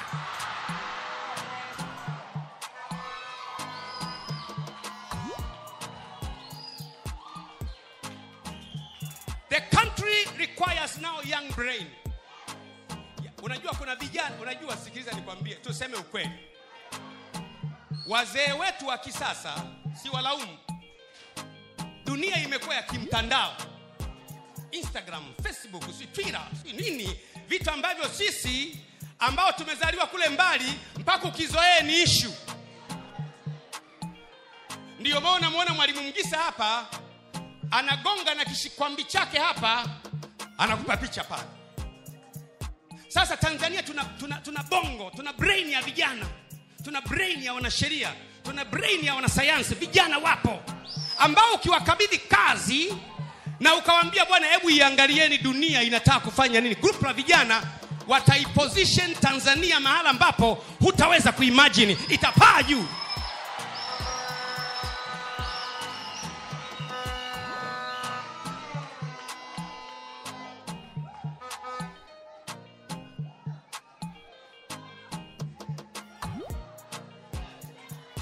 nisikilize vizuri. Mimi nataka nchi fanya nini? Paa hebu sema paa hebu sema paa tanzania. Paa kiuchumi. Paa kiafya. Paa kijamii. Paa paa paa tanzania. Paa na mlima kilimanjaro. Paa paa fly. We want our country to boom and it will. Itaboom. Lakini ili, ili nchi pae tujue tuwe na macho ya kuforesee you see what african countries face is simply called poor planning and poor execution of these plans tuna tunapanga vibaya na hata kama tukipanga vizuri yale tuliyoyapanga hatuyafanyi. Kuna vijana ambao tukiwabaini katika nchi zetu mi nakwambia nimekwambia vita ya kwanza ya dunia ilizaa league of nations united nations control. Vita ya pili ya dunia ikazaa vita baridi na mwanzo wa vita baridi magharibi na mashariki. Na taifa zile ikazaliwa hii vita ya kona inazaa kitu kinaitwa total control. Hebu sema total control. Kitazaliwa kinaitwa full control. Kitakachozaliwa sasa hivi ni full control. Yaani watu wachache asilimia moja ya dunia watamiliki kila mtu kwenye kishikwambi chao yaani kwenye ipad ya mtu kwenye ipad ya asilimia moja ya, ya watu walio duniani wataimiliki dunia yote. Na kama nchi yoyote si yetu tu isipoziposition vizuri jiandae kumilikiwa. Just a matter of time. Nchi yoyote isipojiandaa vizuri na ikajiweka panapopaswa itamilikiwa. Unajua maana yake nini? Maana yake ni hii. Maana yake ni hii kuna wakati mwingine huwezi kueleweka ukisimamia kweli. Lakini mimi sijaja hapa kueleweka. Nimekuja ili nikwambie ambacho kinaweza kukupata. Na hebu sikiliza kidogo. Sikiliza kidogo sasa. Sasa siwezi kujizuia tena. Sikiliza kidogo. Sikiliza kidogo listen. Sikiliza tena. Sikiliza sikiliza. Dunia unapoona matukio ya kidunia yanalenga kuibua kitu. Matukio yote ya kidunia unayoona yanatokea duniani yanalenga kuibua kitu. Nikupe mfano. Vita ya kwanza ya dunia ilipoanza. Dunia ikapigana watu wakapigana watu wakauana maelfu ya watu askari milioni nane na raia milioni kumi na tatu vita ya kwanza ya dunia wakafa. Ilipokuja kuisha tu vita ya kwanza ya dunia kikazaliwa kitu kinaitwa umoja wa mataifa. Wakati ule kinaitwa league of nations kikazaliwa. Eh, unawaza kumbe ndicho hiki? Vurugu yote hii ilikuwa inataka kuzaa hiki. Kikazaliwa power of control. Watu wamepigana mpaka wakasema tuelewane nanielewa eh? baadaye miaka ikapita ikaja vita ya pili ya dunia. Dunia ikapigana tena pwapwa ilipomaliza tu ba yakazaliwa mambo mawili. Kwanza likazaliwa taifa la israeli. Likazaliwa taifa la israeli. Cha pili kikazaliwa ikazaliwa eastern bloc na western bloc. Ikazaliwa ussr pamoja na marekani. Ukawa ni mwanzo wa vita baridi kwa hiyo dunia nzima ikachanika vipande viwili. Wanaosapoti urusi ussr na wanaosapoti marekani. Dunia ikagawanyika. Kwa hiyo vitaifa vidogo vidogo kila mmoja anachagua aende wapi. Wengine wanachagua magharibi. Wengine wanachagua mashariki. Yaani vita imetokea vurugu duniani ya kidunia ikazaa. Taifa la israeli ikaanza. Mama, mama, mama, sayonisti ndiyo yakaanza migogoro ya mashariki ya kati inayoiona mpaka leo hii. Usiongelee unabii kama mwalimu. Ina maana yake. Lakini unapoona jambo la kidunia linatikisa dunia kuna kitu kinataka kuzaliwa. Hivyo ndio system za dunia zinafanya kazi. Dunia unayoiona hii na mifumo nyuma yake. Dunia unayoiona hii nyuma yake na nini? Ina mifumo ambayo inaongoza dunia yale mambo unayoona kwa juu ni udhihirisho it is a manifestation.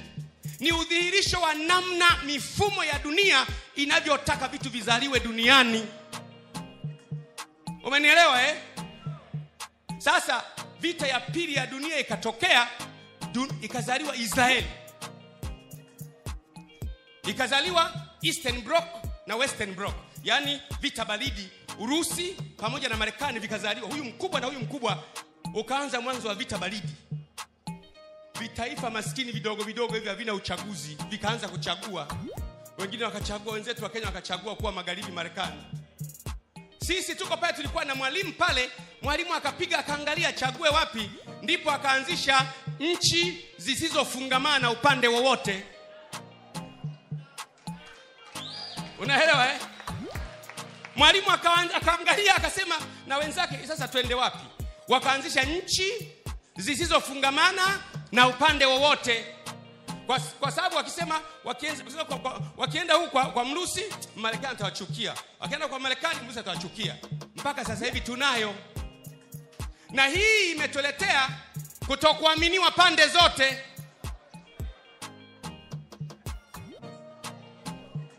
Unanielewa eh? Wale wenzetu wa kenya wakajitoa kwa marekani kichwa miguu macho. Tunajitoa kwako sisi ni wako. Wakaaminiwa. Kuna baadhi ya nchi zingine wakajitoa kwa mrusi na wenyewe ki, sisi na wenzetu pale tukasema kwamba sisi wana let's play safe. Kumbe ndio tunajimaliza. Hatua huku tunaaminiwa asilimia hamsini na huku tunaaminiwa asilimia hamsini tuko hivi ndiyo maana mimi juzi niligundua mheshimiwa mama samia suluhu hassan ni mama mwenye akili. Alisema hivi hata hii nana alignment tulionayo tunatakiwa tuiangalie inatusaidiaje. Nikajua huyu mama amegundua kitu. Kwa sababu unahitaji kuwa na marafiki wa kufa na kupona huku hatupo na huku hatupo tuko pale katikati. Lakini ilikuwa ni mtikisiko wa dunia ukazaa mambo hayo. Hii korona mtikisiko wa dunia na yenyewe inazaa kitu. Sasa kuna viongozi wenye macho. Hebu sema wenye macho. Ambao wanaangalia mtikisiko wa dunia unapotokea wana uwezo wa kuangalia nini kinataka kuzaliwa na nchi yao waiweke wapi ili kitakapozaliwa kile kinachotaka kuzaliwa nchi yao iende mahala fulani that is what we call position in your country. Unaangalia hivi hiki kitu kinataka kuzaa nini? Hivi hapa inataka kuzaliwa nini hapa? Unakaa unawaza usikae tu kuwaza tu chanjo chanjo jamani. Agenda ya dunia sio kuchanjwa na kutochanjwa. Wenye akili wanasema hii korona inalenga kuzaa nini baada ya hapa?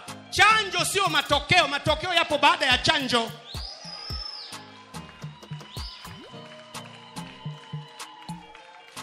nchi ya tanzania as a country lazima tuwe na watu wenye ubongo wenye brain. Brain hii ijaribu kuwaza kwamba hivi kama vita ya kwanza ya dunia ilizaa umoja wa mataifa kwa maana ya league of nations vita ya pili ya, dawinde, ya dunia ikazaa eastern bloc na western bloc urusi na magharibi na mwanzo wa vita baridi. Sasa na ikazaa taifa la israeli. Sasa hii mtikisiko wa dunia huu korona lockdown mbona una nguvu sana? Unataka kuzaa nini? Na lazima mtu mwenye macho aone kinachotaka kuzaliwa halafu awaze hili kwenye nchi yangu hii kinachotaka kuzaliwa nchi yangu niibebe niiweke wapi kwa sasa hivi ili kile kitakachozaliwa nchi yangu inyanyuke kutoka pale ilipo iende mahala fulani. Ndiyo maana kinachonisumbua mimi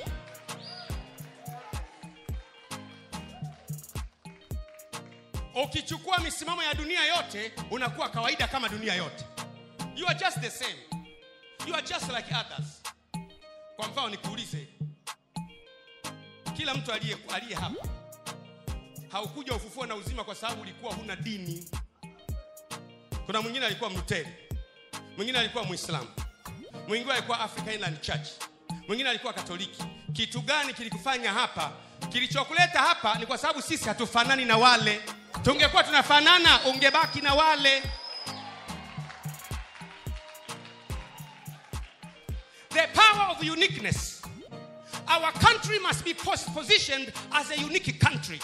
Nchi yetu lazima tuiwe kama nchi ya peke yake. Na tuwe na watu ambao wanamzunguka mama samia suluhu hassan vijana. Nansikia eh? tuwe na vijana wa kitanzania wenye bongo wenye akili wapo vijana wa kitanzania ambao wana bongo wana akili alafu wanapoangalia kupitia macho yao wanaona mama kwa sasa hivi nchi yetu twende hivi ili baada ya mtikisiko wa dunia hii nchi yetu itanyanyuka ikae pale.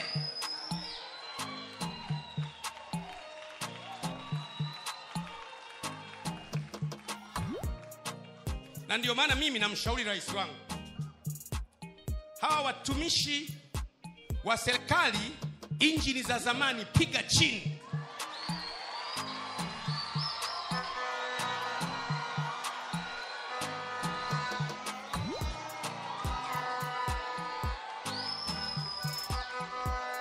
Hizi injini za zamani piga chini. Hizi injini sio za kuoverhaul hizi injini sio za kufunga piston na ring hizi injini sio za kufanyia service. Hizi injini sio za kubadilishia oil na kubadilisha oil na filter. Hii ni, ni injini za ni injini za zamani. Piga chini.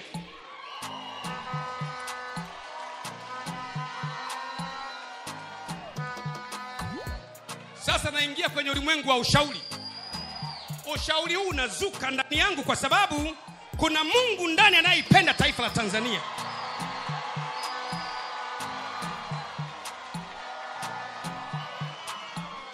na huyu mungu si wa waislamu tu si wa wakristo tu ni mungu wa watu wote anayependa taifa lake liwe positioned mahali ili sasa tanzania ipae. Hebu sema paa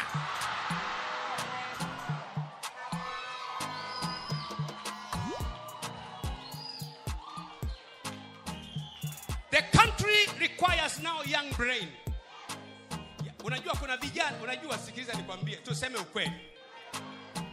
Wazee wetu wa kisasa si walaumu. Dunia imekuwa ya kimtandao. Instagram facebook si twitter si nini. Vitu ambavyo sisi ambao tumezaliwa kule mbali mpaka ukizoee ni ishu ndiyo maana unamwona mwalimu mgisa hapa anagonga na kishikwambi chake hapa anakupa picha pale sasa tanzania tuna, tuna, tuna bongo tuna brain ya vijana tuna brain ya wanasheria tuna brain ya wanasayansi vijana wapo ambao ukiwakabidhi kazi na ukawambia bwana hebu iangalieni dunia inataka kufanya nini. Grupu la vijana wataiposition tanzania mahala ambapo hutaweza kuimajini itapaa juu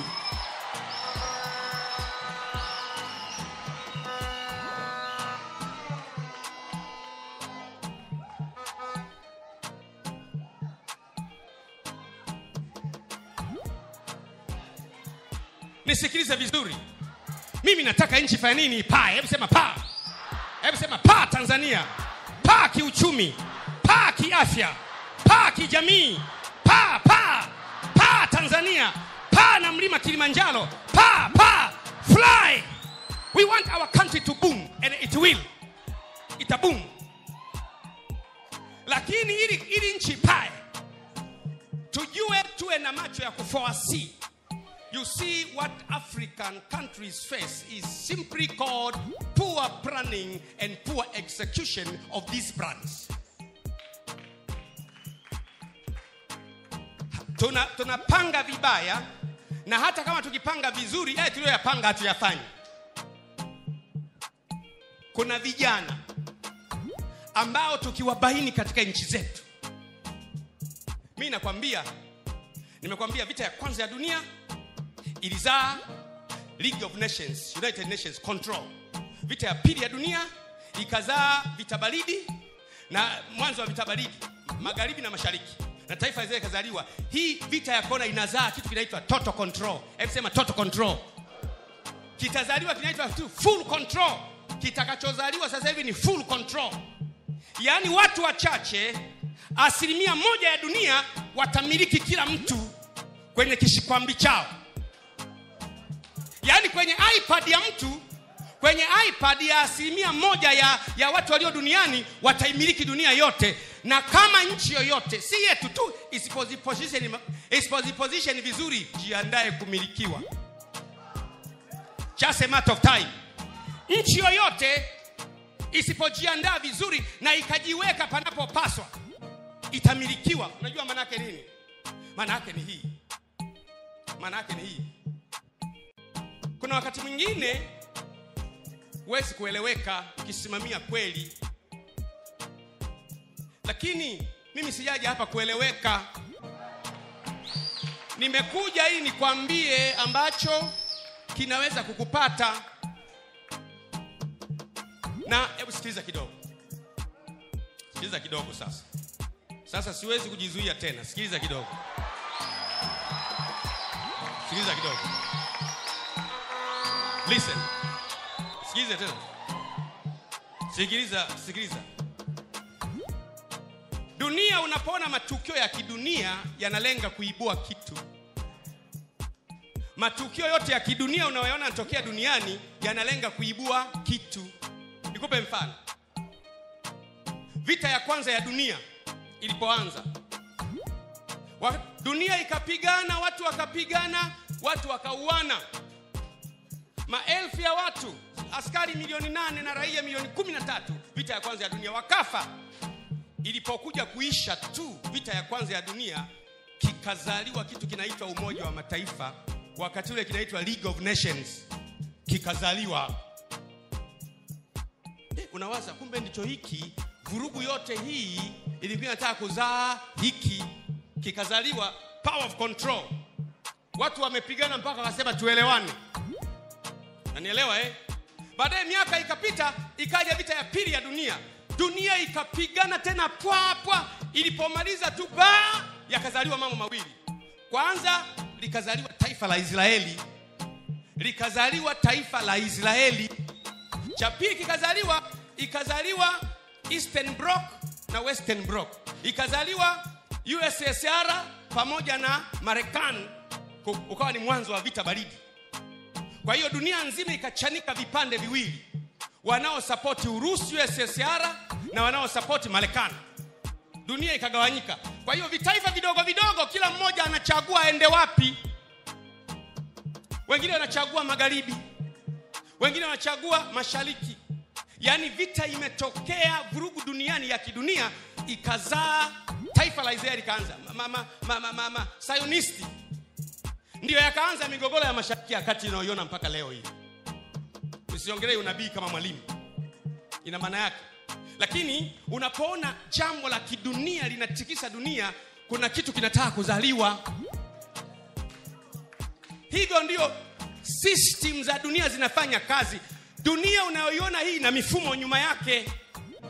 Dunia unayoiona hii nyuma yake na nini? Ina mifumo ambayo inaongoza dunia yale mambo unayoona kwa juu ni udhihirisho it is a manifestation. Ni udhihirisho wa namna mifumo ya dunia inavyotaka vitu vizaliwe duniani. Umenielewa eh? sasa vita ya pili ya dunia ikatokea dun, ikazaliwa israeli. Ikazaliwa eastern bloc na western bloc. Yaani vita baridi urusi pamoja na marekani vikazaliwa. Huyu mkubwa na huyu mkubwa ukaanza mwanzo wa vita baridi. Vitaifa maskini vidogo vidogo hivi havina uchaguzi vikaanza kuchagua. Wengine wakachagua wenzetu wa kenya wakachagua kuwa magharibi marekani. Sisi tuko pale tulikuwa na mwalimu pale mwalimu akapiga akaangalia chague wapi ndipo akaanzisha nchi zisizofungamana upande wowote. Unaelewa eh? Mwalimu akaangalia akasema na wenzake sasa twende wapi? Wakaanzisha nchi zisizofungamana na upande wowote. Kwa, kwa sababu wakisema wakienza, kusema kwa, kwa, wakienda huku kwa, kwa mrusi marekani atawachukia. Wakienda kwa marekani mrusi atawachukia. Mpaka sasa hivi tunayo. Na hii imetuletea kutokuaminiwa pande zote.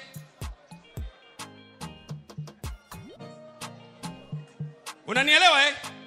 Wale wenzetu wa kenya wakajitoa kwa marekani kichwa miguu macho. Tunajitoa kwako sisi ni wako. Wakaaminiwa. Kuna baadhi ya nchi zingine wakajitoa kwa mrusi na wenyewe ki, sisi na wenzetu pale tukasema kwamba sisi wana let's play safe. Kumbe ndio tunajimaliza. Hatua huku tunaaminiwa asilimia hamsini na huku tunaaminiwa asilimia hamsini tuko hivi ndiyo maana mimi juzi niligundua mheshimiwa mama samia suluhu hassan ni mama mwenye akili. Alisema hivi hata hii nana alignment tulionayo tunatakiwa tuiangalie inatusaidiaje. Nikajua huyu mama amegundua kitu. Kwa sababu unahitaji kuwa na marafiki wa kufa na kupona. Huku hatupo na huku hatupo tuko pale katikati. Lakini ilikuwa ni mtikisiko wa dunia ukazaa mambo hayo. Hii korona mtikisiko wa dunia na yenyewe inazaa kitu. Sasa kuna viongozi wenye macho. Hebu sema wenye macho. Ambao wanaangalia mtikisiko wa dunia unapotokea wana uwezo wa kuangalia nini kinataka kuzaliwa na nchi yao waiweke wapi ili kitakapozaliwa kile kinachotaka kuzaliwa nchi yao iende mahala fulani that is what we call position in your country. Unaangalia hivi hiki kitu kinataka kuzaa nini? Hivi hapa inataka kuzaliwa nini hapa? Unakaa unawaza usikae tu kuwaza tu chanjo chanjo jamani. Agenda ya dunia sio kuchanjwa na kutochanjwa. Wenye akili wanasema hii korona inalenga kuzaa nini baada ya hapa? Chanjo sio matokeo matokeo yapo baada ya chanjo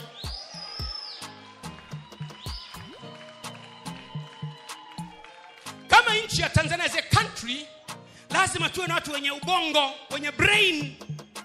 Brain hii ijaribu kuwaza kwamba hivi kama vita ya kwanza ya dunia ilizaa umoja wa mataifa kwa maana ya league of nations vita ya pili ya, Dawi- ya dunia ikazaa eastern bloc na western bloc urusi na magharibi na mwanzo wa vita baridi.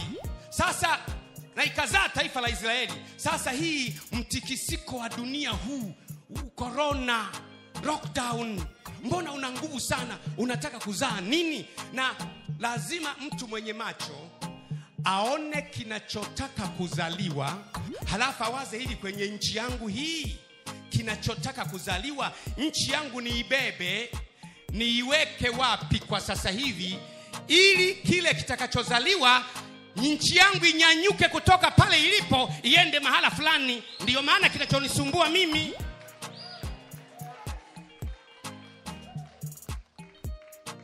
ukichukua misimamo ya dunia yote unakuwa kawaida kama dunia yote. You are just the same. You are just like others. Kwa mfano nikuulize kila mtu aliye hapa haukuja ufufuo na uzima kwa sababu ulikuwa huna dini. Kuna mwingine alikuwa mluteri mwingine alikuwa mwislamu mwingine alikuwa africa inland church mwingine alikuwa katoliki. Kitu gani kilikufanya hapa? Kilichokuleta hapa ni kwa sababu sisi hatufanani na wale tungekuwa tunafanana ungebaki na wale. The power of uniqueness. Our country must be pos- positioned as a unique country. Nchi yetu lazima tuiwe kama nchi ya peke yake. Na tuwe na watu ambao wanamzunguka mama samia suluhu hassan vijana. Nanisikia eh? tuwe na vijana wa kitanzania wenye bongo wenye akili wapo. Vijana wa kitanzania ambao wana bongo wana akili alafu wanapoangalia kupitia macho yao wanaona mama kwa sasa hivi nchi yetu twende hivi ili baada ya mtikisiko wa dunia hii nchi yetu itanyanyuka ikae pale.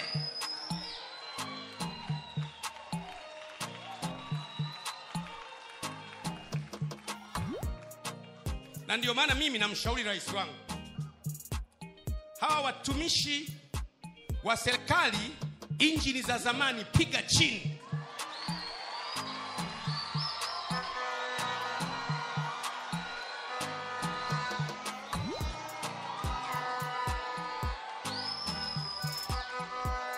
Hizi injini za zamani piga chini.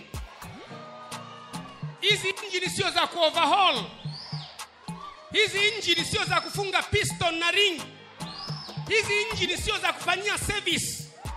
Hizi injini sio za kubadilishia oil na kubadilisha oil na filter. Hii ni, ni injini za ni, ni injini za zamani. Piga chini.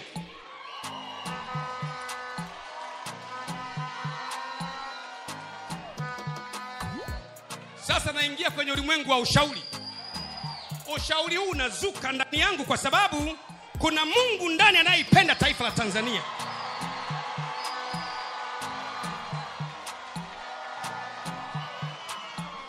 na huyu mungu si wa waislamu tu si wa wakristo tu ni mungu wa watu wote anayependa taifa lake liwe positioned mahali ili sasa tanzania ipae. Hebu sema paa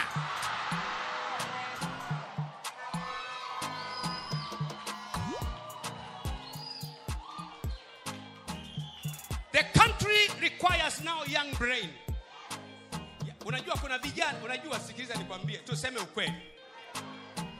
Wazee wetu wa kisasa si walaumu. Dunia imekuwa ya kimtandao.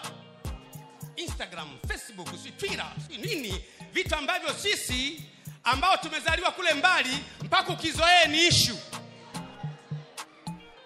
ndiyo maana unamwona mwalimu mgisa hapa anagonga na kishikwambi chake hapa anakupa picha pale sasa tanzania tuna, tuna, tuna bongo tuna brain ya vijana tuna brain ya wanasheria tuna brain ya wanasayansi vijana wapo ambao ukiwakabidhi kazi na ukawambia bwana hebu iangalieni dunia inataka kufanya nini. Grupu la vijana wataiposition tanzania mahala ambapo hutaweza kuimajini itapaa juu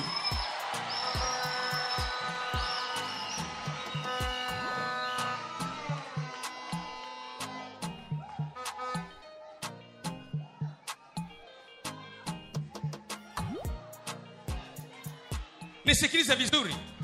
Mimi nataka nchi fanya nini? Paa hebu sema paa hebu sema paa tanzania. Paa kiuchumi. Paa kiafya. Paa kijamii. Paa paa paa tanzania. Paa na mlima kilimanjaro. Paa paa fly. We want our country to boom and it will. Itaboom. Lakini ili, ili nchi pae tujue tuwe na macho ya kufoasi you see what african countries face is simply called poor planning and poor execution of these plans tuna tunapanga vibaya na hata kama tukipanga vizuri yale tuliyoyapanga hatuyafanyi. Kuna vijana ambao tukiwabaini katika nchi zetu mi nakwambia nimekwambia vita ya kwanza ya dunia ilizaa league of nations united nations control. Vita ya pili ya dunia ikazaa vita baridi na mwanzo wa vita baridi magharibi na mashariki. Na taifa zile ikazaliwa hii vita ya kona inazaa kitu kinaitwa total control. Hebu sema total control. Kitazaliwa kinaitwa full control. Kitakachozaliwa sasa hivi ni full control. Yaani watu wachache asilimia moja ya dunia watamiliki kila mtu kwenye kishikwambi chao yaani kwenye ipad ya mtu kwenye ipad ya asilimia moja ya, ya watu walio duniani wataimiliki dunia yote. Na kama nchi yoyote si yetu tu isipoziposition vizuri jiandae kumilikiwa. Just a matter of time. Nchi yoyote isipojiandaa vizuri na ikajiweka panapopaswa itamilikiwa. Unajua maana yake nini? Maana yake ni hii. Maana yake ni hii kuna wakati mwingine huwezi kueleweka ukisimamia kweli. Lakini mimi sijaja hapa kueleweka. Nimekuja ili nikwambie ambacho kinaweza kukupata. Na hebu sikiliza kidogo. Sikiliza kidogo sasa. Sasa siwezi kujizuia tena. Sikiliza kidogo. Sikiliza kidogo listen. Sikiliza tena. Sikiliza sikiliza. Dunia unapoona matukio ya kidunia yanalenga kuibua kitu. Matukio yote ya kidunia unayoona yanatokea duniani yanalenga kuibua kitu. Nikupe mfano. Vita ya kwanza ya dunia ilipoanza. Dunia ikapigana watu wakapigana watu wakauana maelfu ya watu askari milioni nane na raia milioni kumi na tatu vita ya kwanza ya dunia wakafa. Ilipokuja kuisha tu vita ya kwanza ya dunia kikazaliwa kitu kinaitwa umoja wa mataifa. Wakati ule kinaitwa league of nations kikazaliwa. Eh, unawaza kumbe ndicho hiki? Vurugu yote hii ilikuwa inataka kuzaa hiki. Kikazaliwa power of control. Watu wamepigana mpaka wakasema tuelewane nanielewa eh? baadaye miaka ikapita ikaja vita ya pili ya dunia. Dunia ikapigana tena pwapwa ilipomaliza tu ba yakazaliwa mambo mawili. Kwanza likazaliwa taifa la israeli. Likazaliwa taifa la israeli. Cha pili kikazaliwa ikazaliwa eastern bloc na western bloc. Ikazaliwa ussr pamoja na marekani. Ukawa ni mwanzo wa vita baridi kwa hiyo dunia nzima ikachanika vipande viwili. Wanaosapoti urusi ussr na wanaosapoti marekani. Dunia ikagawanyika. Kwa hiyo vitaifa vidogo vidogo kila mmoja anachagua aende wapi. Wengine wanachagua magharibi.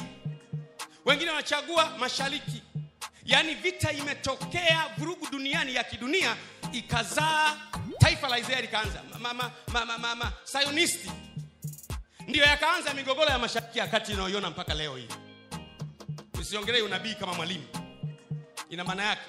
Lakini unapoona jambo la kidunia linatikisa dunia kuna kitu kinataka kuzaliwa.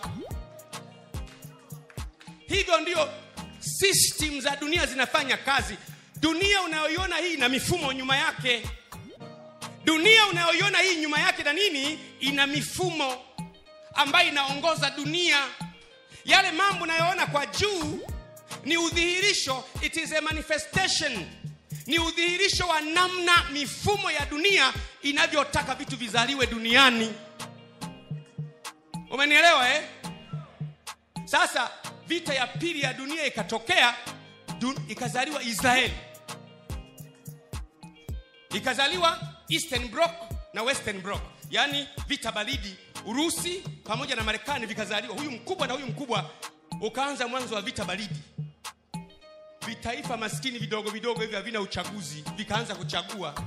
Wengine wakachagua wenzetu wa kenya wakachagua kuwa magharibi marekani. Sisi tuko pale tulikuwa na mwalimu pale mwalimu akapiga akaangalia chague wapi? Ndipo akaanzisha nchi zisizofungamana upande wowote. Unaelewa eh? Mwalimu akaangalia akasema na wenzake sasa twende wapi? Wakaanzisha nchi zisizofungamana na upande wowote. Kwa, kwa sababu wakisema wakisema kwa, kwa, wakienda huku kwa, kwa mrusi marekani atawachukia. Wakienda kwa marekani mrusi atawachukia. Mpaka sasa hivi tunayo. Na hii imetuletea kutokuaminiwa pande zote.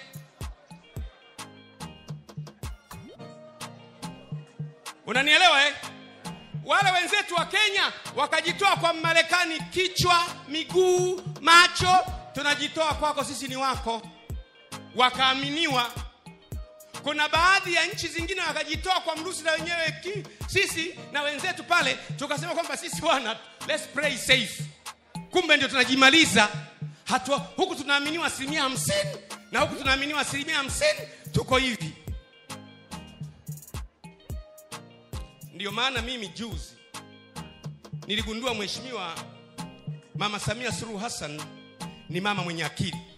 Alisema hivi hata hii nana alignment tulionayo tunatakiwa tuiangalie inatusaidiaje. Nikajua huyu mama amegundua kitu. Kwa sababu unahitaji kuwa na marafiki wa kufa na kupona. Huku hatupo na huku hatupo tuko pale katikati. Lakini ilikuwa ni mtikisiko wa dunia ukazaa mambo hayo. Hii korona mtikisiko wa dunia na yenyewe inazaa kitu. Sasa kuna viongozi wenye macho. Hebu sema wenye macho. Ambao wanaangalia mtikisiko wa dunia unapotokea wana uwezo wa kuangalia nini kinataka kuzaliwa na nchi yao waiweke wapi ili kitakapozaliwa kile kinachotaka kuzaliwa nchi yao iende mahala fulani that is what we call positioning your country. Unaangalia hivi hiki kitu kinataka kuzaa nini? Hivi hapa inataka kuzaliwa nini hapa? Unakaa unawaza usikae tu kuwaza tu chanjo chanjo jamani. Agenda ya dunia sio kuchanjwa na kutochanjwa. Wenye akili wanasema hii korona inalenga kuzaa nini baada ya hapa? Chanjo sio matokeo matokeo yapo baada ya chanjo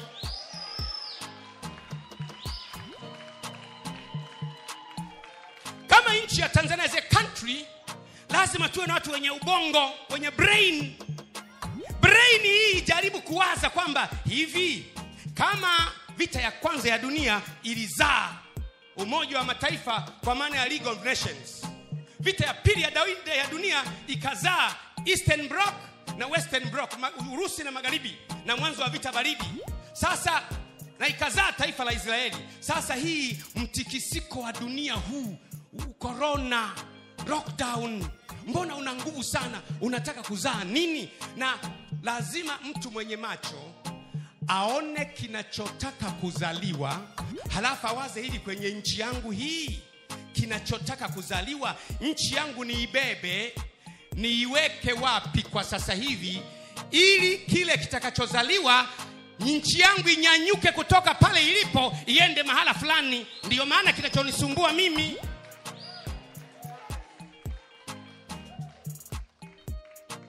ukichukua misimamo ya dunia yote unakuwa kawaida kama dunia yote. You are just the same. You are just like others. Kwa mfano nikuulize. Kila mtu aliye aliye hapa haukuja ufufuo na uzima kwa sababu ulikuwa huna dini. Kuna mwingine alikuwa mluteri. Mwingine alikuwa mwislamu mwingine alikuwa african Inland church mwingine alikuwa katoliki. Kitu gani kilikufanya hapa? Kilichokuleta hapa ni kwa sababu sisi hatufanani na wale. Tungekuwa tunafanana ungebaki na wale. The power of uniqueness. Our country must be pos- positioned as a unique country. Nchi yetu lazima tuiwe kama nchi ya peke yake. Na tuwe na watu ambao wanamzunguka mama samia suluhu hassan vijana nansikia eh? tuwe na vijana wa kitanzania wenye bongo wenye akili wapo vijana wa kitanzania ambao wana bongo wana akili alafu wanapoangalia kupitia macho yao wanaona mama kwa sasa hivi nchi yetu twende hivi ili baada ya mtikisiko wa dunia hii nchi yetu itanyanyuka ikae pale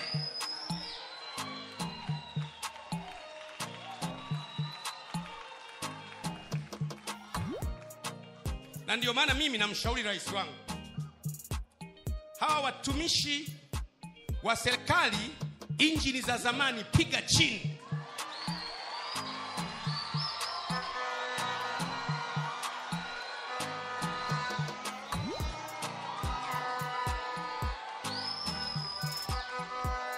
Hizi injini za zamani piga chini. Hizi injini sio za kuoverhaul hizi injini sio za kufunga piston na ring. Hizi injini sio za kufanyia service. Hizi injini sio za kubadilishia oil na kubadilisha oil na filter. Hii ni, ni injini za zamani, ni injini za zamani. Piga chini.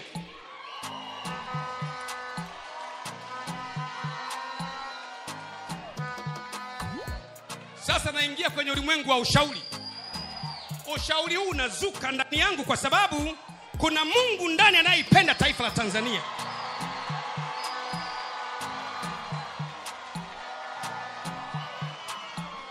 Na huyu mungu si wa waislamu tu si wa wakristo tu ni mungu wa watu wote anayependa taifa lake liwe positioned mahali ili sasa tanzania ipae. Hebu sema paa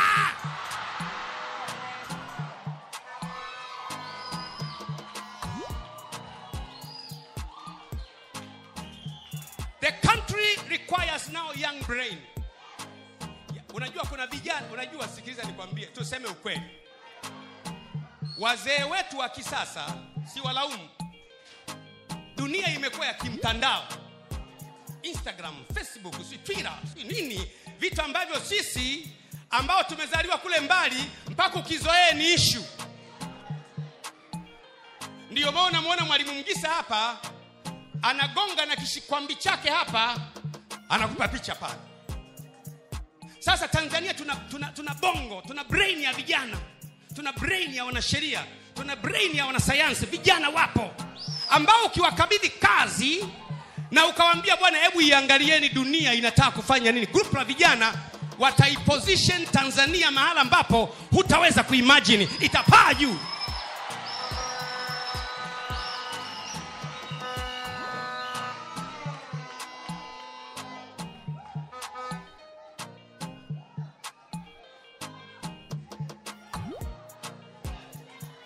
nisikilize vizuri. Mimi nataka nchi fanya nini? Paa hebu sema paa hebu sema paa tanzania. Paa kiuchumi. Paa kiafya. Paa kijamii. Paa paa paa tanzania. Paa na mlima kilimanjaro. Paa paa fly. We want our country to boom and it will. Itaboom. Lakini ili, ili nchi pae tujue tuwe na macho ya kufoasi you see what African countries face is simply called poor planning and poor execution of these plans. Tuna tunapanga vibaya na hata kama tukipanga vizuri eh, tuliyoyapanga hatuyafanyi. Kuna vijana ambao tukiwabaini katika nchi zetu, mi nakwambia, nimekwambia vita ya kwanza ya dunia ilizaa League of Nations, United Nations control. Vita ya pili ya dunia ikazaa vita baridi na mwanzo wa vita baridi magharibi na mashariki na taifa zile ikazaliwa. Hii vita ya kona inazaa kitu kinaitwa total control. Hebu sema total control. Kitazaliwa kinaitwa full control. Kitakachozaliwa sasa hivi ni full control, yaani watu wachache, asilimia moja ya dunia watamiliki kila mtu kwenye kishikwambi chao yaani kwenye ipad ya mtu kwenye ipad ya asilimia moja ya, ya watu walio duniani wataimiliki dunia yote. Na kama nchi yoyote si yetu tu isipoziposition vizuri jiandae kumilikiwa. Just a matter of time. Nchi yoyote isipojiandaa vizuri na ikajiweka panapopaswa itamilikiwa. Unajua maana nini? Maana yake ni hii. Maana yake ni hii